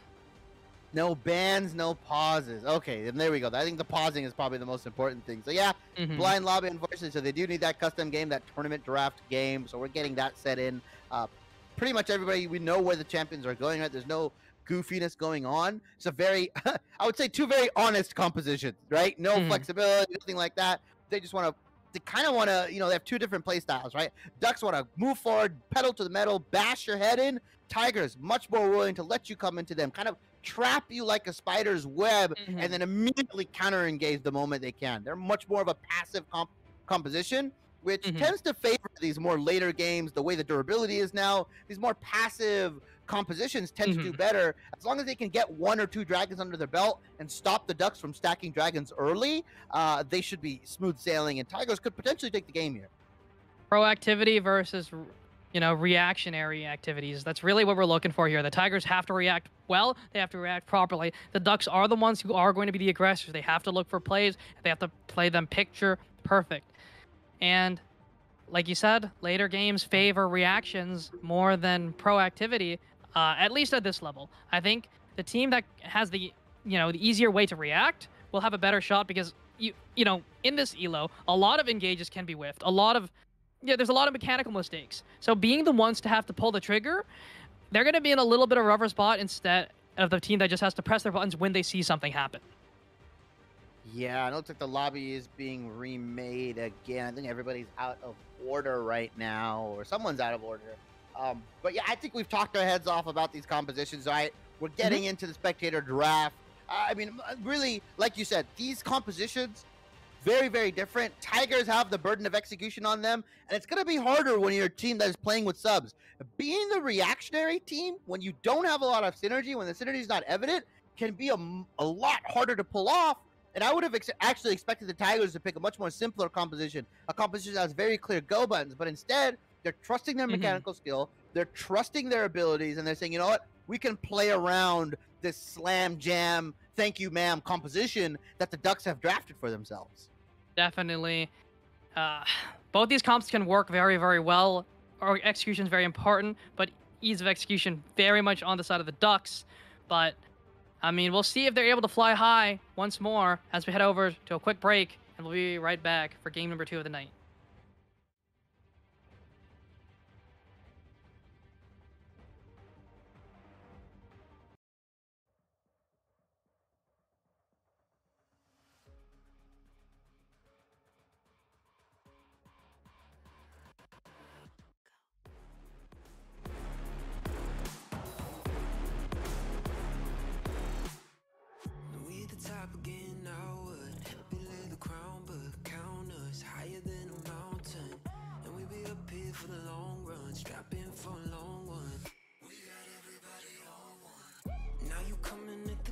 So you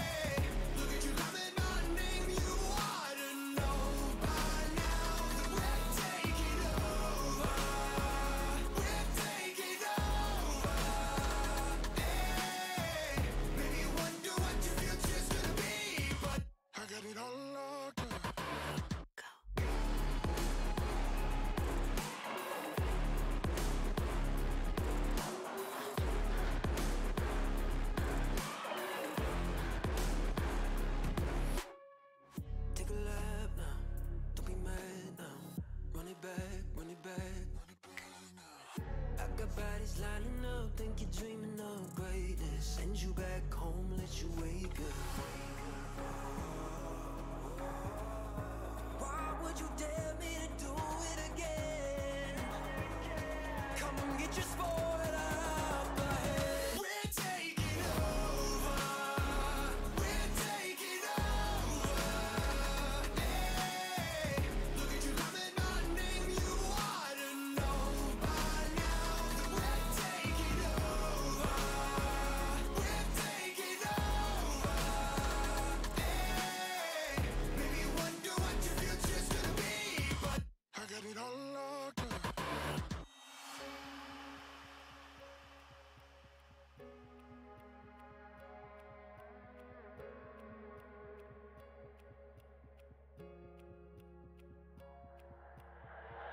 炸以后，除了是傻子还要其他吗？我左右，键盘琵琶在时间滴答着，还不够。你的固执让我来守候，哪怕太迟也不想以后。就在这时反思的挑逗。I got the heart of a lion, I know the harder you climb, the harder you fall. I'm at the top of the mountain, too many bodies to count. I've been through it all. I had to weather the storm to get to the level I'm on. That's how the legend was born. All of my enemies already dead and born. I'm ready for war. They know I'm ready for war. I told them. we're taking. all.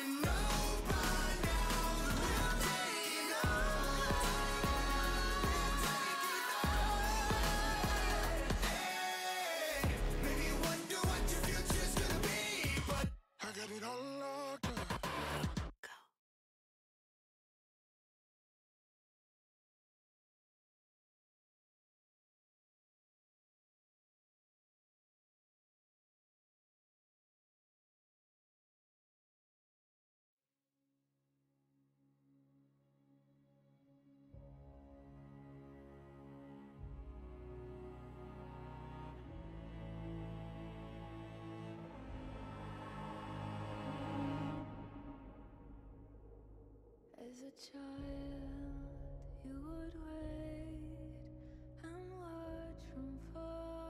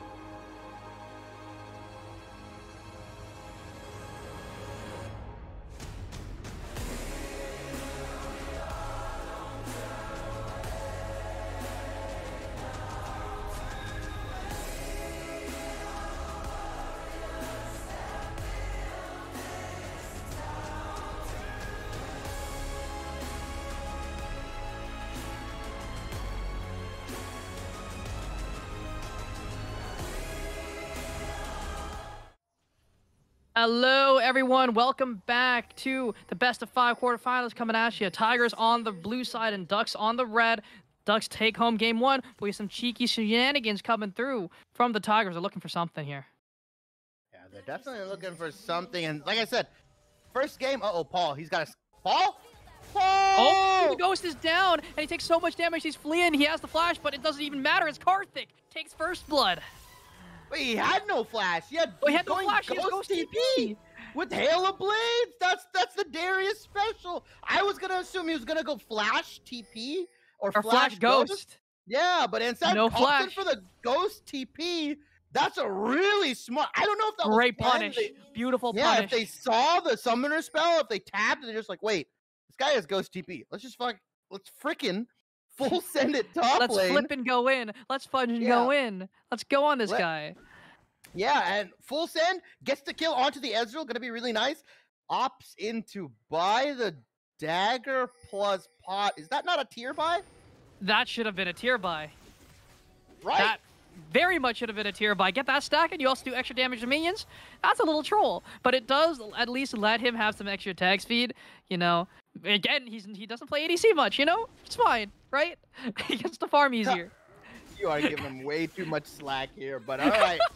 Maybe just buys it for the sake of buying it. I would have loved to see the I'm coping. loved to. Yeah, you're coping. You're you are you're coping right now. That should 100% be a tear stack. It's 400 gold for first blood. I'm pretty sure. That's Yep. easy tear buy. Even then, you just sell your pot maybe and go for the tear pot. Potentially, Wait, tear's 400 gold. though. Yeah, tear Yeah, no, it's just a 400, so straight tear. Yep, yep. Uh, unfortunate from Karthik here, and maybe not realizing the champion he's Oh playing, wait, the lack of AD carry great experience. like damage onto Capcom. Oh my goodness, they are not happy. They're ha- they're not having fun this time. They're kind of suffering a little bit more than last time. And realistically, this is not nearly as an aggressive lane coming forward from the Tigers, but they're popping off here. Mhm. And the dagger realistically has provided zero value here in these trades, so it's I was just about to say pure it lane the dagger. I was about to say it's the dagger difference right now. He right? has not auto once, or he has just pressed Q. So the dagger has done absolutely nothing. Hey man, it allows him to hit the minions a little. Because it Yeah, lets him get yeah, that push. Lets him get that yeah, he's push. getting the push, baby. He's pushing, yeah, look pushing at the that. wave. Look at that. Gets more autos in it. Oh, enough Oh, look at him go. He's dagger. Autoing so fast. He's autoing so fast. He's popping off. He's going crazy. Okay, okay, Karthik. I'll cut you some slack. The dagger is fine. The dagger is fine. Should have been a tear, but okay, we're enough. Enough, enough We're on We're. We're Karthik. Ezreal's um, buy here. Jungle clear has been pretty standard from both of these guys. Full clearing on both ends. Olaf obviously going to have a better time full clearing, a little bit better, but Diana actually ends up, I think he got a better leash from the Darius here because I think Ezreal and Seraphine just instead headed bot immediately. Went straight in. Yeah, Neural Synaptic got a little bit of better leash, so he gets that gets that jungle clear. Both junglers opting again to so- to fight on opposite sides, not willing to flip the game on the crab here. Very smart from both of them. I like the fact that both of these junglers understand, hey, we're both farming junglers. Um, we want to hit our item breakpoints. We want to hit level six. I think Olaf is a much stronger level six champion in the 1v1 against Diana here, just because Mhm. he has the Ragnarok. He doesn't lose the armor and MR anymore. He's just a better overall 1v1 champion. So, you know, both of these guys doing really well. They're going to back farm their Krugs. In this case, both, yeah, both of these guys are going to go back farm their Krugs. Lanes are going to be pretty passive. The most action we're going to see are in these solo lanes. And even then, Yasuo Vex can kind of become a standstill just because of how the champions interact with each other. So Mhm. maybe Illaoi and Darius can potentially provide us some excitement. These junglers opting into farm, they're not really going to look to gank as they were in the early game with the Udyr, you know, Bear Claw stuff and the Xin Zhao early level 2 ganks. Lot slower paced game, and if that ends up happening, I want to say the Ducks have a better late game with the Yasuo, with the Kaisa and Diana versus just the Ezreal.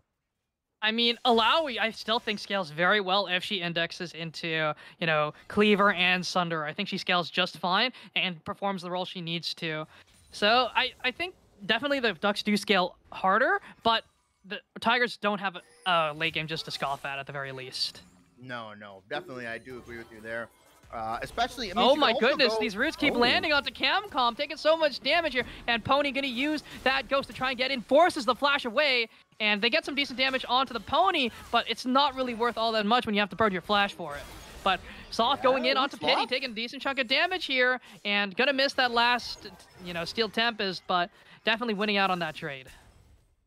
Yeah, he's gonna just trade into then. East Pity's having a fine time trading up. Gonna pop his pots. He still has a biscuit. Still has his uh, potion ready. There's still one charge of his potion there, so he's doing fine. He's more than happy to trade against this Yasuo who went D shield and pot and is now taking the punishment right now. Oh, but Synaptic Synaptic- here finds the finds the damage there, forces the flash away, and they burn that summoner, and they can come back at level six.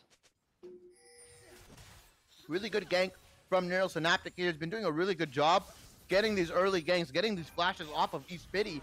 But now, Sloth PhD and East Pity have both hit both hit six here, so we could potentially see a kill from both of these guys. They just want to get this wave under tower and look for a reset here, most likely. And Sloth gonna, you know, try and block some wave push using that wind wall. There's not really too much to block from the Vex. Like she has some decent damage, but she, until she really hits the full six and she actually has some items in her back pocket, she's not too scary of a champ. Her early game is her weakest phase, but when she does hit first item or components plus boots, she's gonna be hurting just a little bit.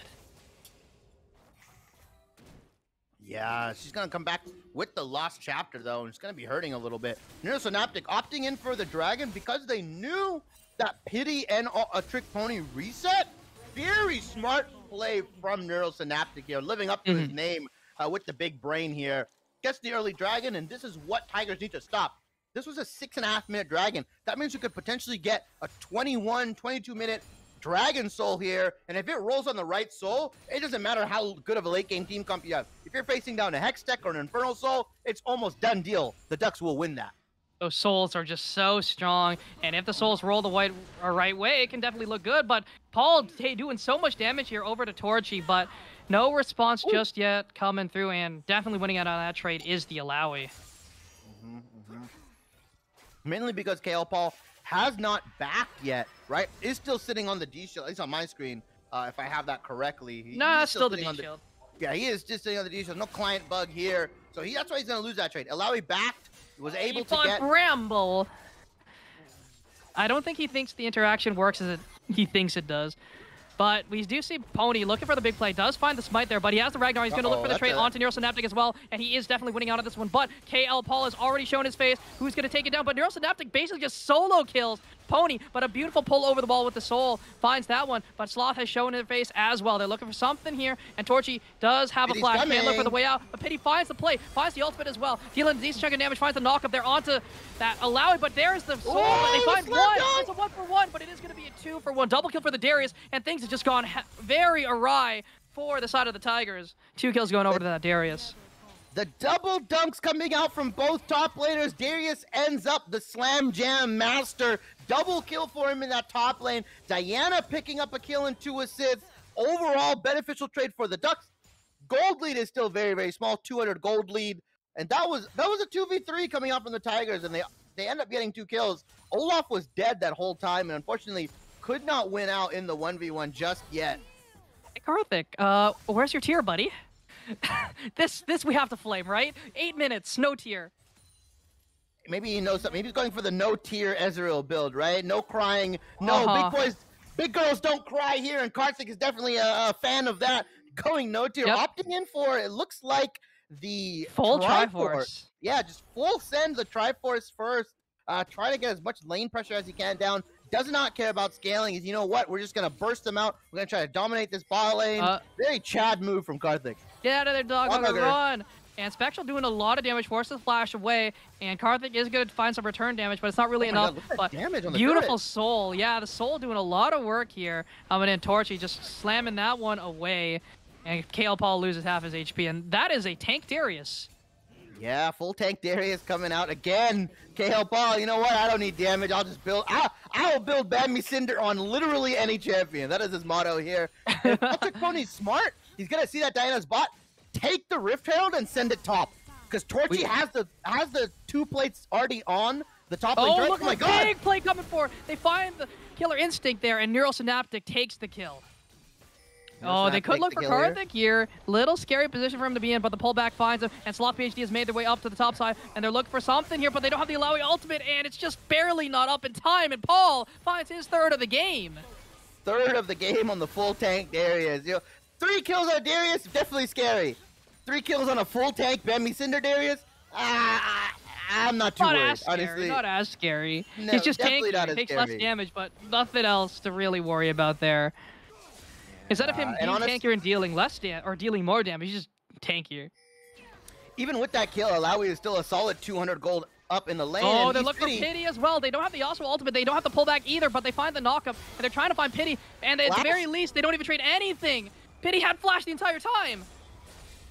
I don't pity the fool here. Didn't have, didn't use his flash. Didn't want to use any of his summoners. Got greedy. Saving it for next time, baby. Saving it for next game. It looks like because he just he's 0 2 right now. Doesn't want to doesn't want to burn his summoners here. Ends up giving the kill over to the Diana. It looks like. And right now, as you can see, the Diana and the Darius are really the hard carries right now of the Ducks team. But Illaoi indexing into that split push composition, the split push Hullbreaker comp. I like it. Not Mhm. opting into a 5v5 with the Ducks is the best thing you can do. Forcing one of their members away. If it's a Diana, if it's a Yasuo, if it's a Darius, whoever can think to stand up to this Illaoi, this Hullbreaker, it's going to be really tough. It's gonna be very difficult for them to stand up to this Illaoi, especially with you know Hullbreaker, such a cheap item, already finished, right? 2,700 gold. That's cheaper than literally almost every mythic that isn't a support one. And a beautiful pullback onto the soul. Torch is gonna deal some decent damage here. No, Paul doesn't and- win that though. Oh, Paul does not win that in fact, but Pony taking a lot of damage here, going to try and deal some damage to Neural Synaptic Force, using that play, but a big ultimate from East Pity finds Neural Synaptic Forces the ultimate, but it doesn't do anything, and the Dragon's gonna go over to the Vex. She steals it away, but they find the play onto Dog Hugger. Karthik over the wall, gets away, pulls himself to Oh safety, but Paul taking so much damage on the top side. Torchy is a menace. I don't think this Darius can 1v1 this Illaoi here. The main the main point as the as the Ducks win the team fight here. Lose the dragon, win the team fight, that's fine. Happens, don't get me wrong. I've had dragons and barons stolen from me as well. Happens to everybody. He's pity. pretty- Taking a lot of damage here. Is he going to be able to find his way out? No ultimate on the Yasuo available, but the towers still do hurt. They do a lot of damage, but they aren't going to be able to find anything else just yet. And Illaoi, Torchy's just knocking on the tier two in the top lane right now. You're gonna have to send two for him. There's no way you can let Darius solo handle this Illaoi. She's gonna come back with a massive goal. Finishes this plated steel cap and the sheen in hand now. He is very far ahead. Very much so, and they're doing some decent damage here, but Neural Synaptic has shown their face in the middle lane, looking for something there. They find a decent play, but it's just dead already. Pony has to salvage whatever he can, but it's just not enough. The Ignite is there, cuts the healing, and it's a double kill for Neural Synaptic. Went to the bargain bin, couldn't salvage a damn thing, unfortunately, for Altric Pony and Pity there. And they are just losing in this 2v2. Why even opt into this? 0 and 6 right now They're against so the behind, Diana no and the reason to. Yeah, there is no reason to play that far up. You're never gonna win that Yasuo Diana, Diana, the premier 2v2 composition, the premier 2v2 mid jungle duo that wins almost everything. And now they turn their eyes towards the Rift Herald here. The first Rift Herald being taken of the game here, unfortunately. Not going to be able to be popped for the turret plates. Torchy now relegated to the mid lane, saying, you know what, deal with this Yasuo, because I definitely can't. Definitely. Torachi realistically is the only member on the side of the Tigers that can actually deal with this Yasuo. Once that wind wall is down, Illaoi can just throw out the E, pull the soul, and Yasuo cannot do anything about it. He does not have the damage, he does not have the time, and no heal cut either because the Ignite was burned last time. So he just has to, you know, survive as well as he can against Torch, who's having a pretty solid game here. He's gotten ganked a couple times, but, you know, great CS lead. Took first tower all on his own. Having a great game so far. Yeah, took the CS, took the tower lead as well. I believe he also has the most gold in the game right now, sitting at 6100. Second most, but they Yep. look for the play here. Finds the soul, but look at that damage coming forward. That's a lot of work on the Sloth, and one more tentacle pop will force that soul to go back to its body, and Sloth has to run, has to dodge, has to play dodge simulator here. But Neural Synaptic looking for something here on the torch. He finds a beautiful pullback on to the Seraphine, but the ultimate is there. It finds two. Cam comes caught out as well. Neural Synaptic trying to run away, uses the flash, but they're looking for Cam first. here. Exhaust is down, and they're looking for Paul now. Beautiful ultimate comes in from downtown. on the Paul trying Blast Cone is there, but on the backside is Sloth. Karthik looking for the play, though. Looking for the damage. Pity trying to find some slows, trying to find anything. And Paul is able to walk away with the Ghost. walks away with the ghost and this game is a lot closer than the, than the box score says right 3 to 10 but these teams are only roughly about 2k gold apart from each other and this composition that the tigers have drafted this Illaoi is so strong right now neural synaptic going in without sloth going in for the er to try to kill uh, it looks like dog hugger on the seraphine misses pays for it regrets it Camcom ends up giving their life away as well as Neural Synaptic, so they just lose out a lot here, and that's just a way to give them back into the game. Ducks need to slow it down, look for the right engage, make sure that Diana and Yasuo are there at bare minimum to execute that combo. And unfortunately, Sloth was chunked out, had no way into the fight, and they still looked for it. They opted in for something they should know that uh, they have no chance of winning. They thought their wallets were big enough, but clearly they weren't. And so far, the Tigers are putting up a big fight, even though the kill score isn't there. Look at the towers, right? It's two to one. Even though they're down in kills, they've already got themselves two towers down, two standing objectives off the table, and that's a mm-hmm. lot of vision denied because those towers provide a lot of that. And look at the vision line slowly being crept up on the bot side. This dragon's up in 50. Dragons up in 15. It could be very detrimental for the Ducks to even try to attempt this fight, right? If they full engage onto the Illaoi, all the tentacles into the Dragon Pit, it's going to do so much damage right now. Illaoi's best chance right now, she should be splitting top or splitting bot lane and then using TP to join. Instead, she's going to walk herself to drag. They could potentially win the team fight, and then she could TP top and push that down while the death timers are going. It's Mhm. definitely a different play, and I, and I, if that's what he's going for, I like the look. Definitely. Spectral The dancing. Is positioning with the team, and it is going to be a 5v5. Paul is there as well. Rift Herald is going to be summoned up in the mid lane, looking to try and take down that tier 2. And we'll see who finds the first angle, who's looking for the big play. But we do see that they've rotated behind, but this tentacle should see a couple of them here. And we'll Oh, see. We'll see. They're, They're starting right now. Ducks looking for this hard engage. Just Raptor's gonna go They in. find it. Beautiful play. Massive Onto the back of the combo! combo. Instantly taken out. But Torchy's in the middle of five. Look at the damage coming forward from this Illaoi, but he's locked down, taking a lot of damage. Not Can't deal it back in return. It is not enough. Karthik gonna get knocked up. Gonna be taken down. Dunked by Paul. And this game is not over just yet, but at the very least, they get themselves a second dragon and take the fight. Neural Synaptic with the hugest of Diana ultimates there. Yasuo playing support. Oh, 0 and 12 right now. Just there for the damage. Not gonna pad his KDA. And that was the one thing you Yeah, didn't want to do as the Tigers. the one thing you did not want to do against the Tigers is group up, clump up, play the range game, find out where they are. Instead, they get corralled in by Paul, by Camcom. And on the flip side, you have Synaptic, Sloth, and Spectral, the three-man roaming group, the three-man you know, wombo combo coming in and executing perfectly onto the Tigers. That's just a backbreaker of a play. beautiful look, a beautiful play, and I mean, Torchy was in a great position, but just could not output the damage. And it's just very unfortunate looks coming through from the side of the Tigers. They were there first, but they got caught out, they got looked, and they just weren't able to react in time. You see the flashes are up, the exhaust is up. They had ways to get out of that, but unfortunately just weren't able to press the buttons in time. Salt, Salt, I think this is all turns around for the Tigers. Ezreal has finally built his tier. The tier is He's there. Stacking it. The 18 minute tier is there. This is where the game turns around for Yep. the Tigers here. It's not over. PhD though. Okay. You can't find the play, but yeah, the tier has finally been built. 36 stacks at 18 minutes. He's popping off. Oh, it's this is the turnaround right now. Uh, they're gonna This might be the turnaround here. They look for. Sloth. Uh, not really. No, we see the Diana already there first, and they might look for Seraphine first, trying to find something, but Karthik's there. Look for Sloth, forces the flash away from Dog Hugger, and Neural Synaptic finds that kill. Uses the wind wall, goes right back in onto Karthik, forces the flash away. The exhaust is down as well, but does not even matter. The damage is there, and it's just going to be a five-man rotation onto East Pity. Torchy's there. Hullbreaker is still alive, is still procced, and the damage is going to come through. The ultimate is not going to go wide from that Vex and Paul Uh-oh, onto the backline as well. He's there. He has no ghost, but the It's a pullback finds the dunk, has the full stack there. That's a decent chunk of damage. The dunk is not enough to take down Pony, but that dunk is. And Torchy trying to deal as much damage as he can, trying to protect this tower, but it's just so scary. There's four members left alive. They've only gotten the Diana, and they can't do anything but watch. Yeah, Torchy's watching as his teammates dies. Really can't do much, right? Has to kind of force the split, but if he's forced to group like he's doing with the Tigers, he's not getting full value out of that Hullbreaker. Oh, Torchy. Maybe? Nah, it's just not much to look for. Can't really do much. That's the one issue with the Illaoi is you don't have enough hard CC. You don't have any hard CC actually at all. To You kinda have stun one off, to get a pick off. You got one slow, and that's about it. You kind of have to hope that the team runs into you face first. And now the item breakpoints are being reached by the Ducks here, right? Two item Diana. Oh, two item. Oh, I thought it was gonna be a two item Kai'Sa with all the gold. Almost two items Kai'Sa.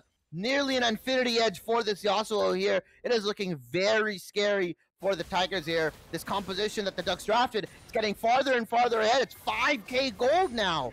And they're looking for Paul, though. He doesn't really have the damage. The Ghost is not there as well, but he's trying to run away, trying to do as much as he can, find some decent damage, and the five stacks are there. Gonna look for the big dunk. He will find it, but the exhaust buys so much space. And Torchy, who's gonna grab this kill? Does it go to Karthik? Is it go to Torchy? That's the real question. It's gonna go over to Karthik, and Spectral tries to join the fight, but can't really do all that much. But Pony is the one who might be caught out. They're looking for the re-engage, but he has that ultimate. The Ragnarok is buying so much space, but the ultimate's canceled by the wind wall from Sloth, and they're trying to deal as much damage as they can. East Pity goes in, finds some decent damage, but Karthik caught out, gets on, but he can't confirm that kill. Spectral is going to confirm that one though, and Torchy's trying to run for the hills, trying to get out, but he flashes forward, tries to find Synaptic, but he can't do it. The Zodius is there, Sloth dealing as much damage as he can, and they grab it, and they're going to grab the Baron as well. The Ducks must be led by Nobunaga himself as they tear and shred through the forces of the Tigers here. A clean ace and a nice Baron to top it all off. This game is looking shades of the first one. Baron, and now potentially the reset into the game-ending push. Uh, it's the death timers aren't really all that high. They are up, and they're gonna try and run for this dragon here. They could use this Baron to push these waves and look for the dragon, potentially, or just push some towers down. I mean, they are still they're basically tied with towers. They've gotten themselves one Baron, but this dragon is up in just a little bit. And this is going to be a really important fight them, for them. Getting that soul point will just allow them to get that scale or scale up as they want to, right? I mean, at this point, they don't even have to scale up. They're sped. They're strong. They're popping off. Yeah, it's an IE on the Yasuo right now. PD finally finished for the Kai'Sa here. Any fight they take, they can literally take it 4v5, 3v5. It doesn't matter. They are just so strong with this Wombo combo. Oh, they find the pull over the wall with the soul, but they can't really commit all that much. Torchy's trying, but it's just not there. The Illaoi may be the Kraken Priestess, but getting slayed by the Kraken so far. At least the Kraken Slayer from this Kai'Sa. Ah, that's a good one. I like that one. Yeah, I like that. Was pretty good. I like that one. Kraken Slayer into the Kraken Priestess as the dragon is coming it's up. just gone. Uh, it's not. It doesn't even yeah, matter. It's up. It's up, and it was gone. Oh, they're trying to find something beautiful knock up there onto Sloth PhD, but beautiful play from Wait a minute. Torchy. Look at the damage. He might be able to turn it. And the slow is there. But a beautiful ultimate comes through from this area thing. Find three. Pony's on the back line. Uh, they at least grab one. Sloth is still alive. Pony Yup. trying to deal as much as he can. Trying to do something. Karthik looking to find the play. Can he do it? He cannot. But they're looking for this Diana potentially. If they can grab a slow, if they can grab anything, but they just cannot do it. And this Diana is just allowed to walk away.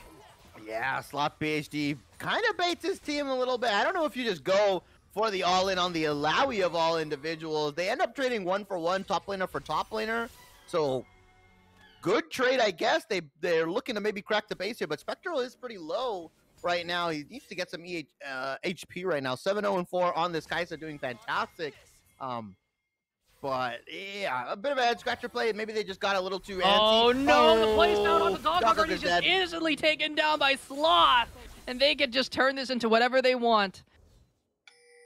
And just get the mid lane turret here. Baron minions are coming up. There's nothing you can do. Uh, you gotta back up. They gotta back up. They're gonna use that arcane, or sorry, the true shot barrage to try and break the wave, but the cannon's still hitting. Torchy can't find the damage, and he's taking so much. The tower's gonna go down. Sloth PhD finds the damage on the Garlic Force of the Flash. Doesn't even matter. He is gone. He is dusted, and so is Illaoi. And they're doing the damage to Pony as well. This Olaf is just not doing anything this game. The Reckless Viking is definitely playing Reckless this game, and this game is looking pretty over. Yeah, Vex and Seraphine are the only ones up. They can definitely go for the game-ending push here. Four health bars, pretty relatively high for the Ducks here. Will they play it safe or will they go for the throw? Will they go for the juggler assault? They could go for the juggler. They're looking for Seraphine already. Doghugger finds the exhaust, doesn't take that much damage. With Spectral dives onto the backline, finds that killer instinct, finds the damage, and they're gonna just look to find the towers. And there's not really anything they can do. They don't have the defense. The Vex has the ultimate, has to look for the play, has to look for something right here, right now. Karthik can't get pulled back. They're trying to find it, but it's over too fast, too quickly. And the Ducks, again, they take game two. Too fast, too furious. The game is over in the blink of an eye, unfortunately. Ducks, another commanding game. 24 minutes now. Almost 29 to 6 box score. Uh, that Ducks 3-0 prediction looking mighty fine right now, so Oh, it's looking very, very good right now, Shibby. Oh my goodness. The Tigers are kind of struggling here. I mean, again, the ball lane did pretty well in lane, right? They were looking pretty solid. And, you know, Torchy put on a show, but Pony and East Pity just did not show up for the second game. Yeah, really, really unfortunate, right? I mean, the 2v2, the mid jungle 2v2 has been phenomenal from both Sloth PhD and Neural Synaptic here. They've really been kind of running the gambit uh, these last two weeks, I would say, and they're showing their form right right now. I mean, they're Mhm. just beating, they're just outright beating the Tigers mid uh, jungle duo. Granted, it is a new mid jungle duo, and they do have a sub. But I mean, just opting into these fights, that's you don't need synergy to understand that you're not going to beat Diana Yasuo. You have to Mhm. play for the range, you have to play for these team fights. And like I said, it's a harder composition to execute if you want to play around that range. Multiple times they just got they just grouped up and let Diana Yasuo combo them. Like it was just near the dragon, near the mid lane, near the top lane river. Like it was multiple times they got combo. They just simply did not respect the distance, and that's what you get. That's what happens when you when you don't play around that range. And Ducks have showed very good flexibility in their compositions. Right? They played a late game with the Vlad, the Zeri. Now they play a, a, a death ball early mid to get early to mid game composition with the Diana with the Yasuo the comp flexibility from these guys have been phenomenal coming into these weeks, and it's they're looking like a very, very strong team, uh, potentially looking to 3-0 the Tigers here.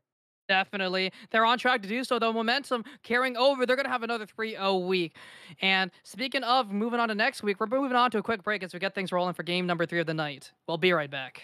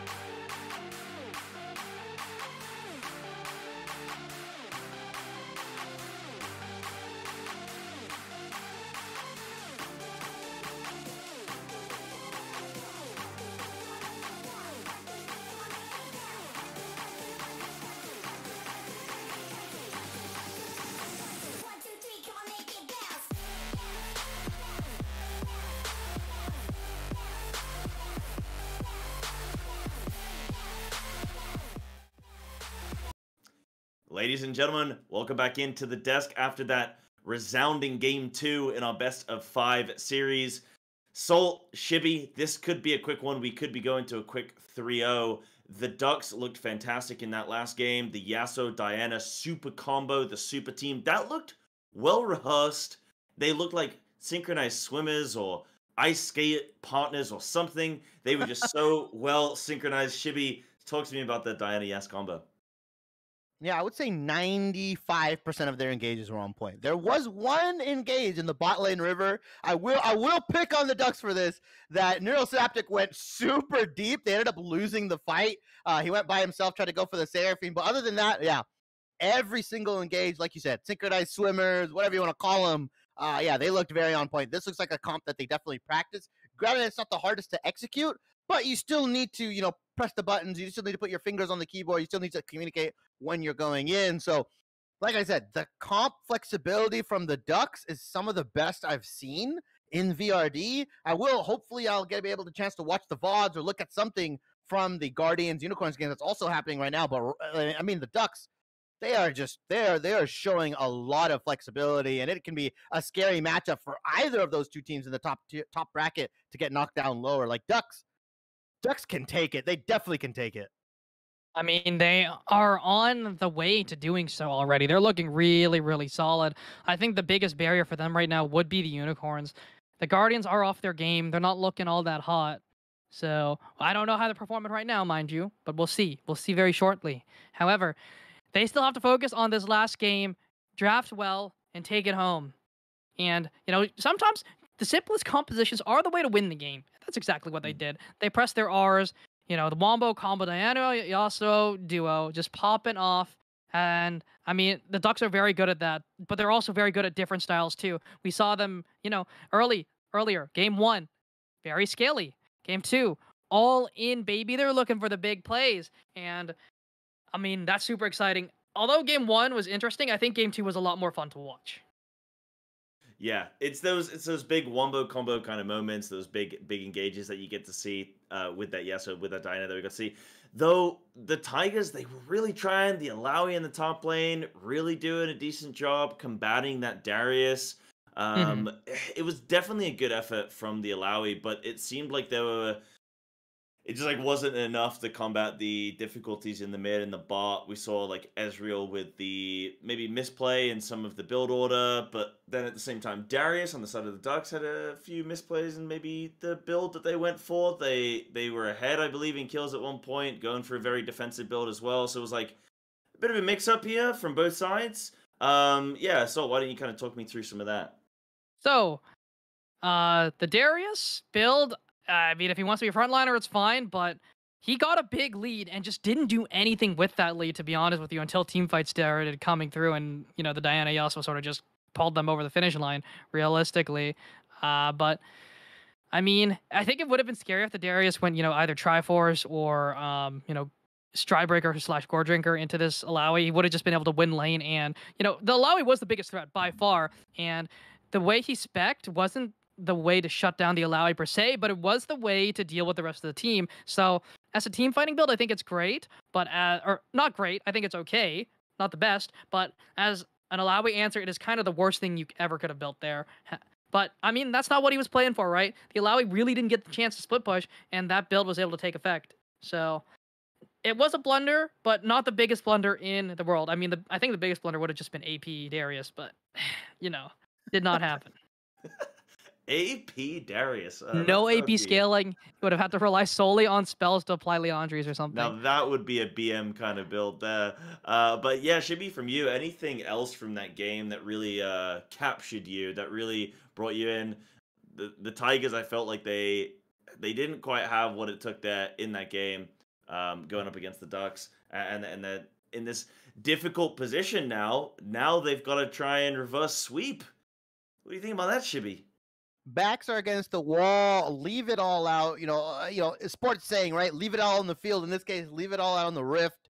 Don't go home, you know, thinking that you couldn't pick a champion or you just should have picked a different champion. If you've got something crazy, if you've got some pick that you want to play into, I say play it now because you're 0 2. You got to grab a win. You got to grab some momentum. You got to force the Ducks to respect you one way or another. Yes, you can go a simple composition, but right now, you try to face them straight up. You try to counter them with compositions. Like you've done multiple things. I think now you just you just bring out the most innovative, crazy picks that you can, and really look to throw the Ducks off. Get they get the game on the board, get a point on the board, get the momentum going, and force Ducks to rethink their strategy. Because right now it's very easy what they're doing, right? They sack one lane and they draft super hard, super strong or super hard for two lanes. Game one, it was their bottom lane. They didn't really care about it. They would play to their top mid and jungle. Game two, they clearly were not worried about Darius. They said, you know, go build tank. We have we drafted Diana Yasuo. We've got this composition going. We've got Karma in the bot lane. Like they very much were gonna play for the mid jungle duo to snowball their bot lane and then go and take dragons, go and take team fights. So you really just like understanding what the Ducks are going for and trying to counter that. You can try that, or you can just try to play your own game and play super aggressive, play your picks. And I think that's how you get on the board. hmm Yeah, I, I think maybe maybe okay. What do you guys think? Hear me out, right? So Mhm. Tigers, you want to see something different, okay? So what do we do? Maybe our best advantage to try and win here is to backdoor. We take TF or uh, yeah, Twisted Fate. We take Evelynn. We take Rengar. We take Kha'Zix. Something else. we just hide. We just hide. They go, wait, is this like is this a bot game? Where's the enemy? Boom, we're in your Nexus. That's where we are. What do you guys think? Uh, no, don't don't answer. Don't, don't answer that. I think, I'm not gonna get invited back here, am I? I'm not gonna get asked back to come cast. am I? hey, it can work. You know, Yeah, I, Good work. lo- I loved it because he said, "Where are they?" Like, it's that meme with John Travolta. He's like. "Guys, are Is they?" this guys. supposed to be an enemy? No. I love uh, it. The invisibility composition, the submarine comp. I, mean, I don't know. At this point, at this point, throw anything that sticks against the wall, right? For the Tigers. Mm. Oh, two. Eh, just play what you want to play. Don't play something mm-hmm. and then go back home and regret it and say, you know what? Don't go into banter chat saying, you know what? If this and this and this didn't happen, we would have won. I don't want to see that. Either lose, lose, and go out in a blaze of glory, or lose gracefully. I don't. I don't. Yeah. I don't want to see. I don't want to see some like excuses. That's all. I'm all for that. And chat, we are going to be jumping over to the draft in just a minute. But as should be mentioned, the Discord, come join us! Exclamation mark Discord in the chat. You can come join uh, the server, check out the banter chat, see all the teams and the players and stuff. Talking smack on one another and having a good time. Uh, of course, make sure you follow the channel and checking us out on Twitter. Stay tuned. We have lots more of events like this all throughout the week. So make sure if you're into your League of Legends competitions, into your League of Legends content, that you're following the channel here. But without further ado, we're going to jump into the draft of game three in this best of five between the Ducks and the Tigers in this quarterfinals. This is Tigers on the line. Let's see if they can do it. Yep. And with that, the Ducks' first pick, Camcom's signature Lulu. We've seen that pick a lot.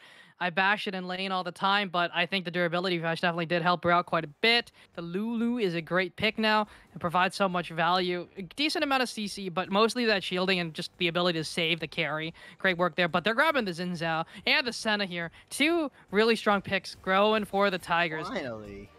There we go. There's the first Senna we've seen all series. Yeah, and Senna is probably the most broken AD carry in the game right now. Can really match up well against those enchanter bot lanes. You can play it fasting. You can play it pseudo fasting, where you give the the CS in the beginning and then you start farming later on. You could play it ADC if you want. Like there's a lot of flexibility in how you want to play it and what you want to pair it up with. Lulu Jarvan being taken.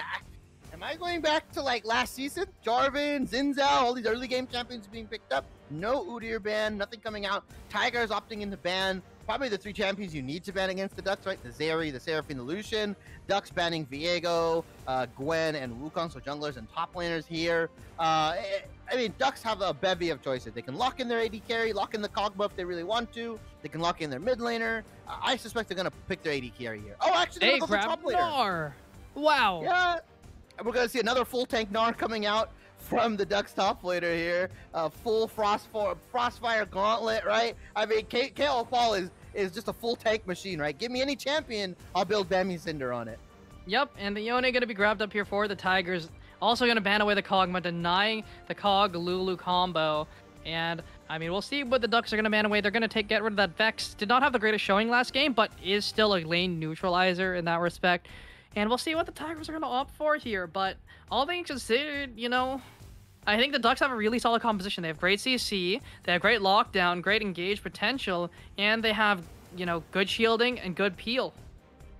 Yeah, I'm gonna see what the Ducks rounded out with, right? Ban's going into the mid lane, making me assume that they think this Yone is gonna go top into the hands of the Tigers top laner here. Xin Zhao Senna is no slouch though. Senna is gonna start doing a lot of damage. She gets a couple souls, she gets a couple stacks going, and she's gonna start carrying through your team with a million range. Tigers banning out more hyper carries.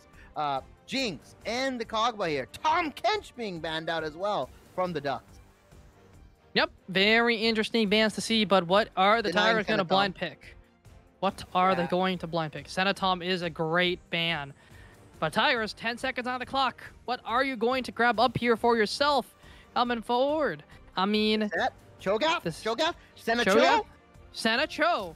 Senna Cho. Very, very good. It's going to be Senna Nautilus. That's not bad. It's not great. It looks like it's going to be an AD carry Senna then with the Nautilus Mhm. support here. Yeah, Senna does fine with gold. I think she's really does really well. Her soul stacking isn't as much one of her core mechanics, but you know, with items with gold, she can start hurting your team. She can start really putting in uh, damage onto your team with the extended range, with the rapid fire cannon and the Qs and everything like that.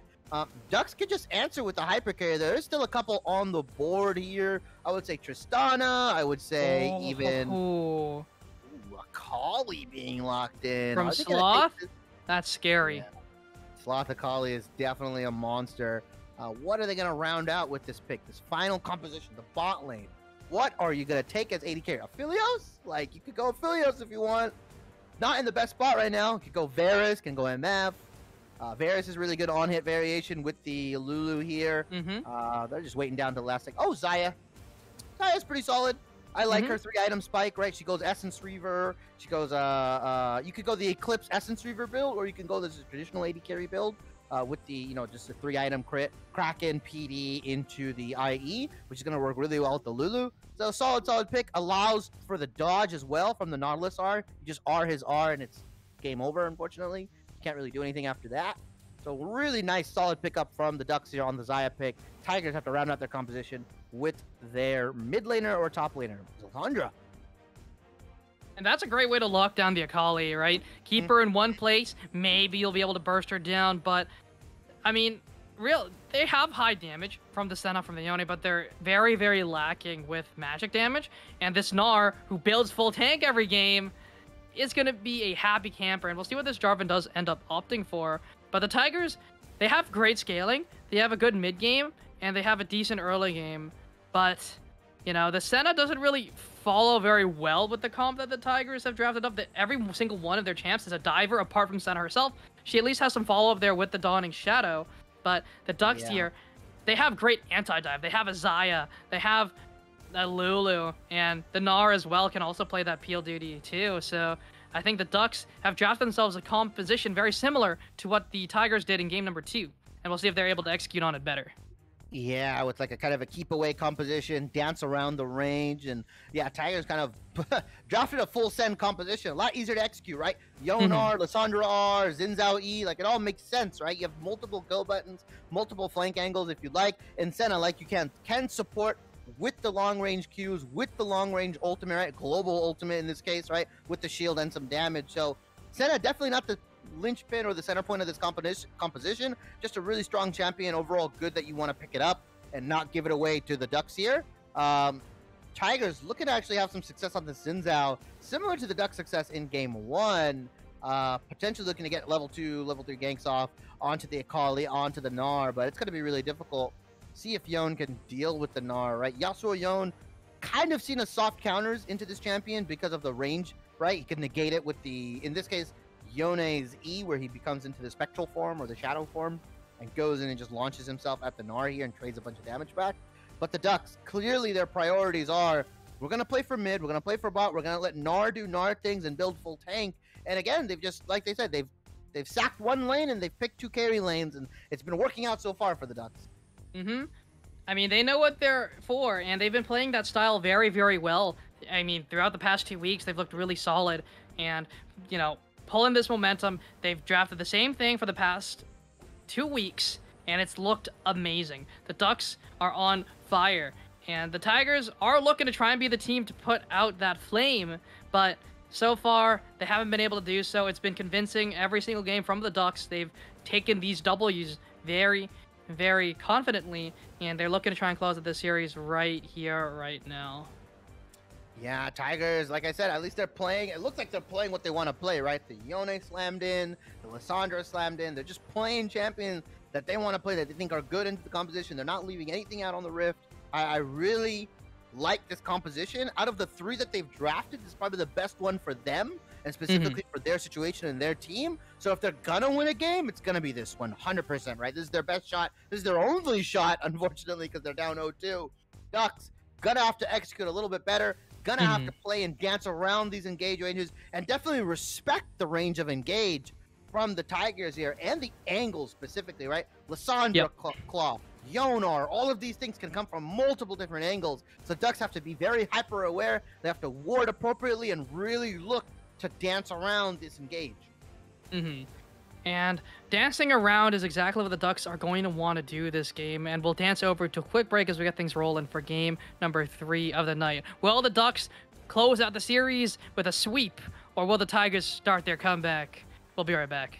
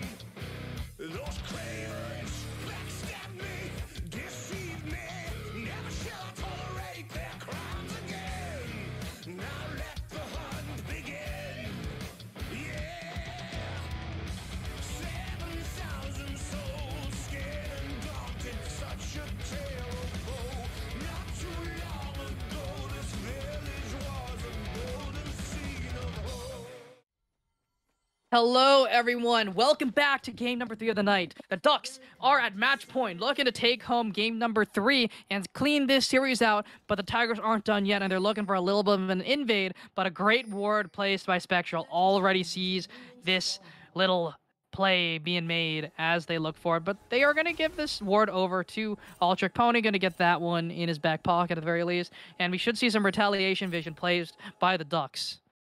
Yeah, Jarvan's gonna get in here, probably place a ward down onto the red buff once they see him. Camcom spots this out.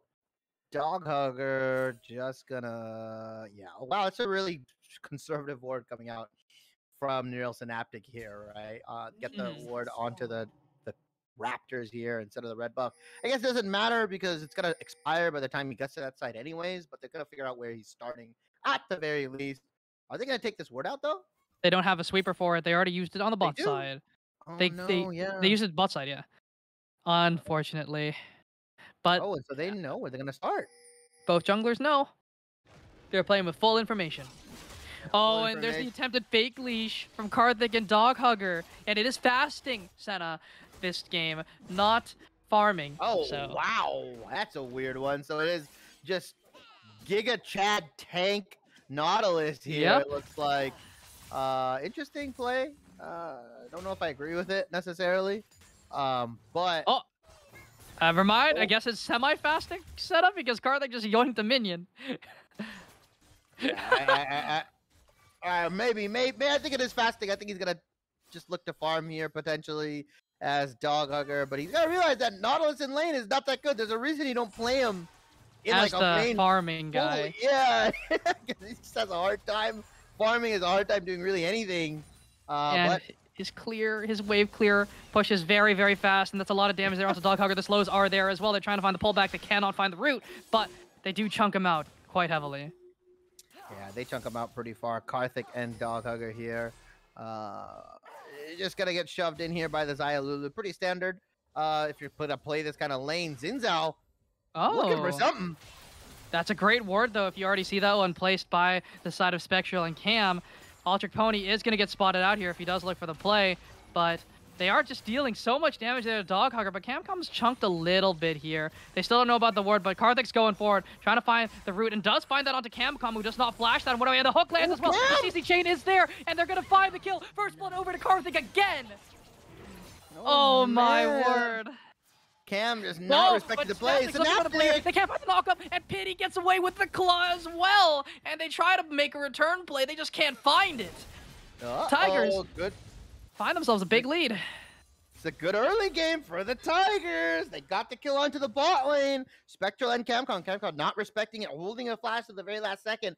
I mean, that's just that's just uh, Just got a uh, flash you of know, W there. Not paying attention as well, right? Clearly, you see Dog Hugger and Karthik playing past their wave, walking up towards you. You have to realize the jungler is there, ready to follow up. So I think you just flash that W every single time. Unfortunately, they didn't they didn't look for it. They didn't really realize what was happening. Camcom pays with their life. The kill goes over to Karthik of all individuals. Oh, and oh my Pony's back another again. They game! find this route onto Spectral. He has no way out. He has the cleanse, he has the flash, but he's already sentenced himself to death. He knows he's gone, and he's taken down. Karthik starts the game off oh. 2-0. Beautiful regain coming from Pony, right? Walks all the way around, avoids any potential ward in the river, goes through try, and just says, you know what? Back again, round two. I'm back. Gets the gank off. Yeah, pretty much. Gets the kill. Really good start for the Tigers here. Oh, they are finding themselves a great start here, but East Midi taking a decent chunk of damage. Sloth PhD, though, cannot find the return because the Q went the wrong way. And Torchy trying to trade up against the Snars. Actually, fa- do faring pretty decently here. It's not the worst thing in the world, but they are going to stop that rap, the little chicken there from falling. And that's going to put that on a late, late, late timer. Yeah, not gonna actually work out in Ultric Pony's favor. Would have actually opted in for that going down so he can get the higher camp, level camp on the reset, but instead it's gonna delay his own camp. Not gonna get too much effective EH, uh, effective XP. And Torchy playing this Yone to a T, right? Trading perfectly into the Gnar. You see why it's such a hard counter or soft counter. Sorry, Mhm. pops the E, just dives in onto the the Gnar and trades so much damage that you can't hope to trade it back. It's just so difficult to trade into a Yone whose damage is amplified. It's basically a Zed death mark. Not as many steroids on it, but you know, it's still very, very strong. And we see Karthik has the most gold in the game right now, and he's not even farming 2-0 to his name, though. And Ultra Pony's next on the menu there, second. And Synaptic performing very well at Torchy, though. Faring very, very well into this ra- range versus melee matchup. Yeah, doing a, a, a fantastic job, right? Oh, look who's back! Pony's back down here again. Nautilus Oh, has no there's- flash. They don't really have a way in per se, but oh, Paul forced to Wait a flash away, minute. but the ultimate is there. He could use the Fate Seal to try and buy himself some space. Neural Synaptic trying to find something, but they can't really look for the play. And they are trying to They're do letting the lane push here. in. They're letting No, it push in. out. They, They it do out suss first. it out. They know something's amiss here. Something's a little wonky. go in? walking Oh into God, the maw of the beast, and it gets slowed down. The hook lands once No, again. They no find the knock, but the root is there, and Camcom is just taken down. Karthik 3 0 and 0. All the kills are on the bot side, and the bot side is hard winning once more. And This Torchy looking for the play, but Narbar is available, has the ultimate as well. Not going to look for the play, though. 3-0 Karthik Center right now. This is the first lead that the Tigers have taken in the early game all series. Game three on the line, backs against the wall, and they're coming out swinging. They're not done yet. They've had enough. They're pick. They're bringing out this big pick. Maybe this is why. This is why they didn't pick Santa earlier, so they could get it when they needed it most. This could have been it. They were waiting. They were biding their time. They're here, baby. They're ready. I'm sorry. Oh my god, I'm choking on the water again. I just don't know how to drink water, unfortunately. Uh, yeah, I mean, really, Senna, the Senna pick has been working out for them. Not picking it up early game, but if they lose this, right, they definitely don't get Senna once again, right? Yeah, never. But pity gonna be ganked here by Neural Synaptic, but that doesn't really do all that much. It's basically an even trade, all things considered. Yeah, it's fine. I mean, you just It's a trade- Lissandra. It's Alessandro. He didn't even force the claw. It looks like was able to just walk it out completely. Pity playing this lane really well on Alessandro, not giving Akali anything, not giving Fox PhD uh, any room to exert his pressure. And Torchy, Once Still again, just trading. looking for the Oh damage, looking for the plays here. Gonna miss that last Q, but doesn't really matter. You know, up 10 CS, and it's trading very well against this Gnar, who again is the range champ, but Sloth looking for the big play. He has the R2, but beautiful ultimate comes through, but the shields are there. East Pity forced to flash away, and Sloth is going to live to see another day. Sloth, and Pity both gonna live to see another day here. Good ultimate from Lissandra here. Oh, okay, yeah, he's not gonna Oh. fall. on. You're insane. Neural Synaptic was waiting. Oh, he's gonna Oh, him. flash Yeah, you're forward, dead. Cataclysm is there, he's dead to right, and Pony tries to flash forward, tries to get the damage, and he just can't do it. And they they don't even get anything in return. Oh my goodness, the damage from the Xayah is there, but Karthik is stacking up very nicely. Let's take a look, see at the soul count. 29 souls on the Senna in 8 minutes, trying to get to that 40 breakpoint, two upgrades. Yeah, and he's, he'll probably get to it pretty soon, right? If he starts following the jungle around, he's gonna get this dragon soul, right? The, sorry, the soul of the drag, the soul that the dragon drops for Senna. He's gonna be able to pick that up. Mhm. God, I, I hate how it's called dragon soul when you have a soul mechanic in the game. Um, Yep. Articulation, right? That's Yep. what it is.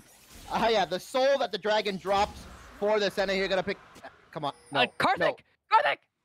Get it! Okay, okay, he's going back for it. we see the pings. we see the things going for the. Oh, wait, my God! Just be dead, he's dead! Just walks out! Oh my god. Uh oh, this is getting from bad to worse here for the Ducks here. Solo kills in the top lane, ganks in the bottom lane, and not even mid is really able to get much other than one kill for Neural Synaptic. The Ducks off to a slow start, while Tigers backs against the wall. They're just per- performing. Diamonds They've are shown made under pressure, Salt. Diamonds are made under pressure. Yes, sir. This is true. And the Tigers, they are the apex predators of their ecosystem. They are not done just yet. The Ducks have wandered too far forward, and they may be taken down. We'll see, though. The game's not over yet. No, not by a long shot. And the Ducks, uh, aptly named by me, some of the late game team fighting teams. So even if it doesn't, Oh, uh-oh. wait, Pony's caught out. Sloth going over the wall. They find Ultra Pony. No That's a lot of damage now. The smite is there. Beautiful crescent guard to try and buy some space. Karthik has joined the fight as well. They're looking for something. Find some decent damage on the Spectral. Beautiful Featherstorm buys the space, buys the time, but East Pity forced to go over the wall. Karthik trying to run for the hills, has that move speed and the stealth to get away. Yeah, really nice roam coming out from Sock PhD, just able to catch, you know, Ultric Pony with his pants down, right? He saw him just W over the wall as he was roaming. It was like, oh wait, there's a guy here. Neural Synaptic. Okay, looking mid. Oh, Ooh. misses. If that E lands, you know both of them go Oh, in. yeah, for sure, for sure. And Uh-oh. Torchy just keeps trading super aggressively up against Paul. And again, it's the Narch can't really trade very effectively against this Yone. Oh, gets caught out of the hop as well.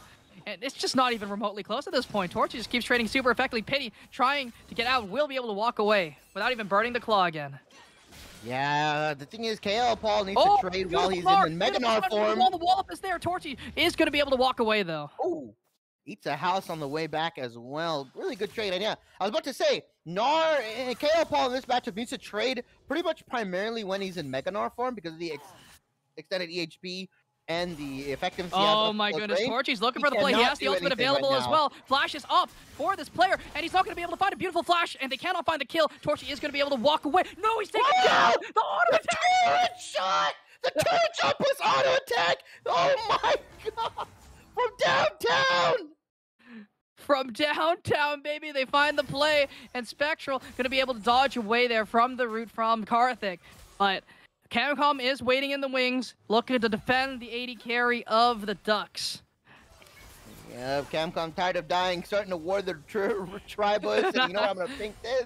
I'm gonna ward that. Look, they even warded the the bush up ahead. If you see the farthest bush in the lane, they are tired of these cheesy ganks from uh, Trick Pony here. They're not gonna let them get any more.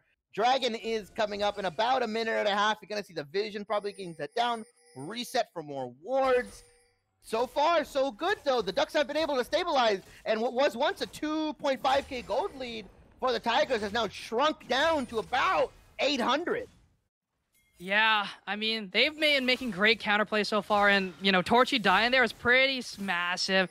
And Sloth is looking for something here onto Pony. He has the damage as well. Look at that. Shuriken toss is there. Crescent Guard is available, but the bot lane is there. Beautiful depth charge. Buys some space onto Sloth PhD, but East Spectral, Pity's not there just yet. Crescent Guard buys time, buys space, but the exhaust is there to protect them. But they find some damage with Neural Synaptic onto the backline. Spectral goes. He's dealing so much damage, but Karthik is strong. Karthik is alive. It's a double kill onto Lissandra, though. But Crescent Guard is going to get him to safety. Karthik forced flash away. Torchy is down on the top side as well. Neural Synaptic, beautiful play, but he's going to be taken down. The triumph, it's not. He lives. Neural Synaptic lives, and Spectral finds the play, finds the damage. The lethal tempo is there, and the Dragon's up in a minute.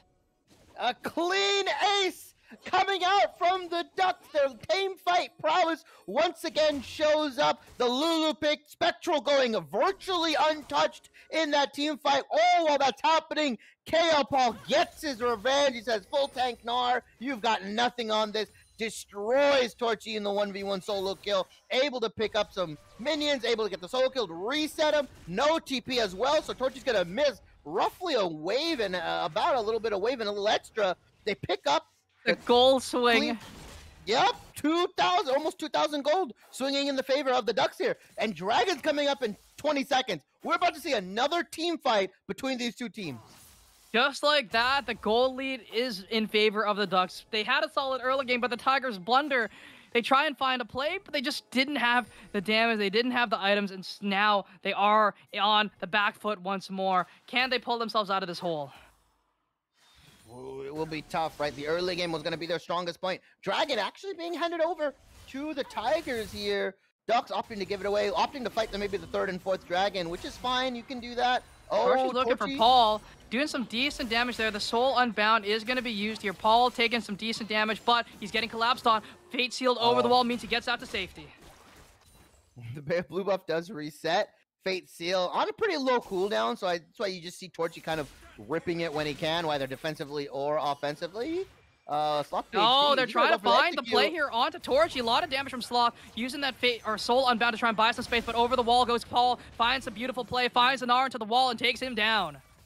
Yeah, with an assistance from PhD here. Really nice getting the full damage out. Living, you know, setting up KL Paul for the alley oop pretty much. Uh, East Pity, though, looking to get a.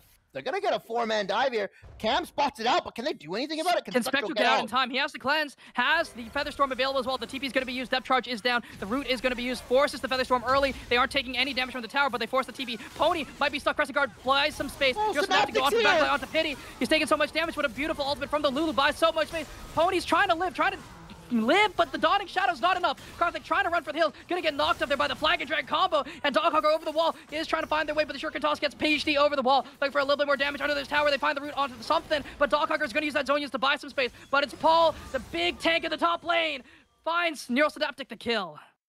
Four kills going over to the Ducks here, turning a dive completely on its head. Very good TP coming out from KL Paul and Sloth PhD here, able to turn what was going to look like a very bleak dive into a 4 for 0. Ducks have all the momentum. Ducks are waddling, they're paddling their way to the semifinals matchup. 27,000 to 23k gold, a 4k gold lead. Ducks are firmly back in control of the game. They pull it back, and now they're driving fast. They're putting the pedal to the metal. They're not letting plays happen. They are reading these plays super, super well and responding in kind. The reactions coming in from the Ducks are just on point here. Mm, KL Paul, 4 1 and 2. Oh, over the wall, finds a beautiful hop there. Trying to find Torchy. The damage is there. Torchy cannot get over the wall. Paul gonna be- force him over the wall, but Pony, oh, he finds the cutoff point, and Torchy's gonna be able to walk over to the tower.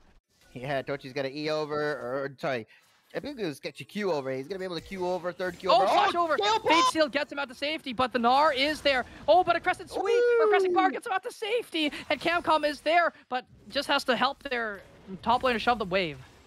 Yeah, pretty much just gonna get the wave in. KL Paul. Uh, it's a 3v2. 3v2 Zion finds a play. It's Mini Nari does takes a lot of damage here, and Torchy gonna try and find some damage as well. They can't find Paul. The burn is there. The red smite is just not enough, and the team has arrived. The cavalry is here, and they're looking to take this Rift Herald.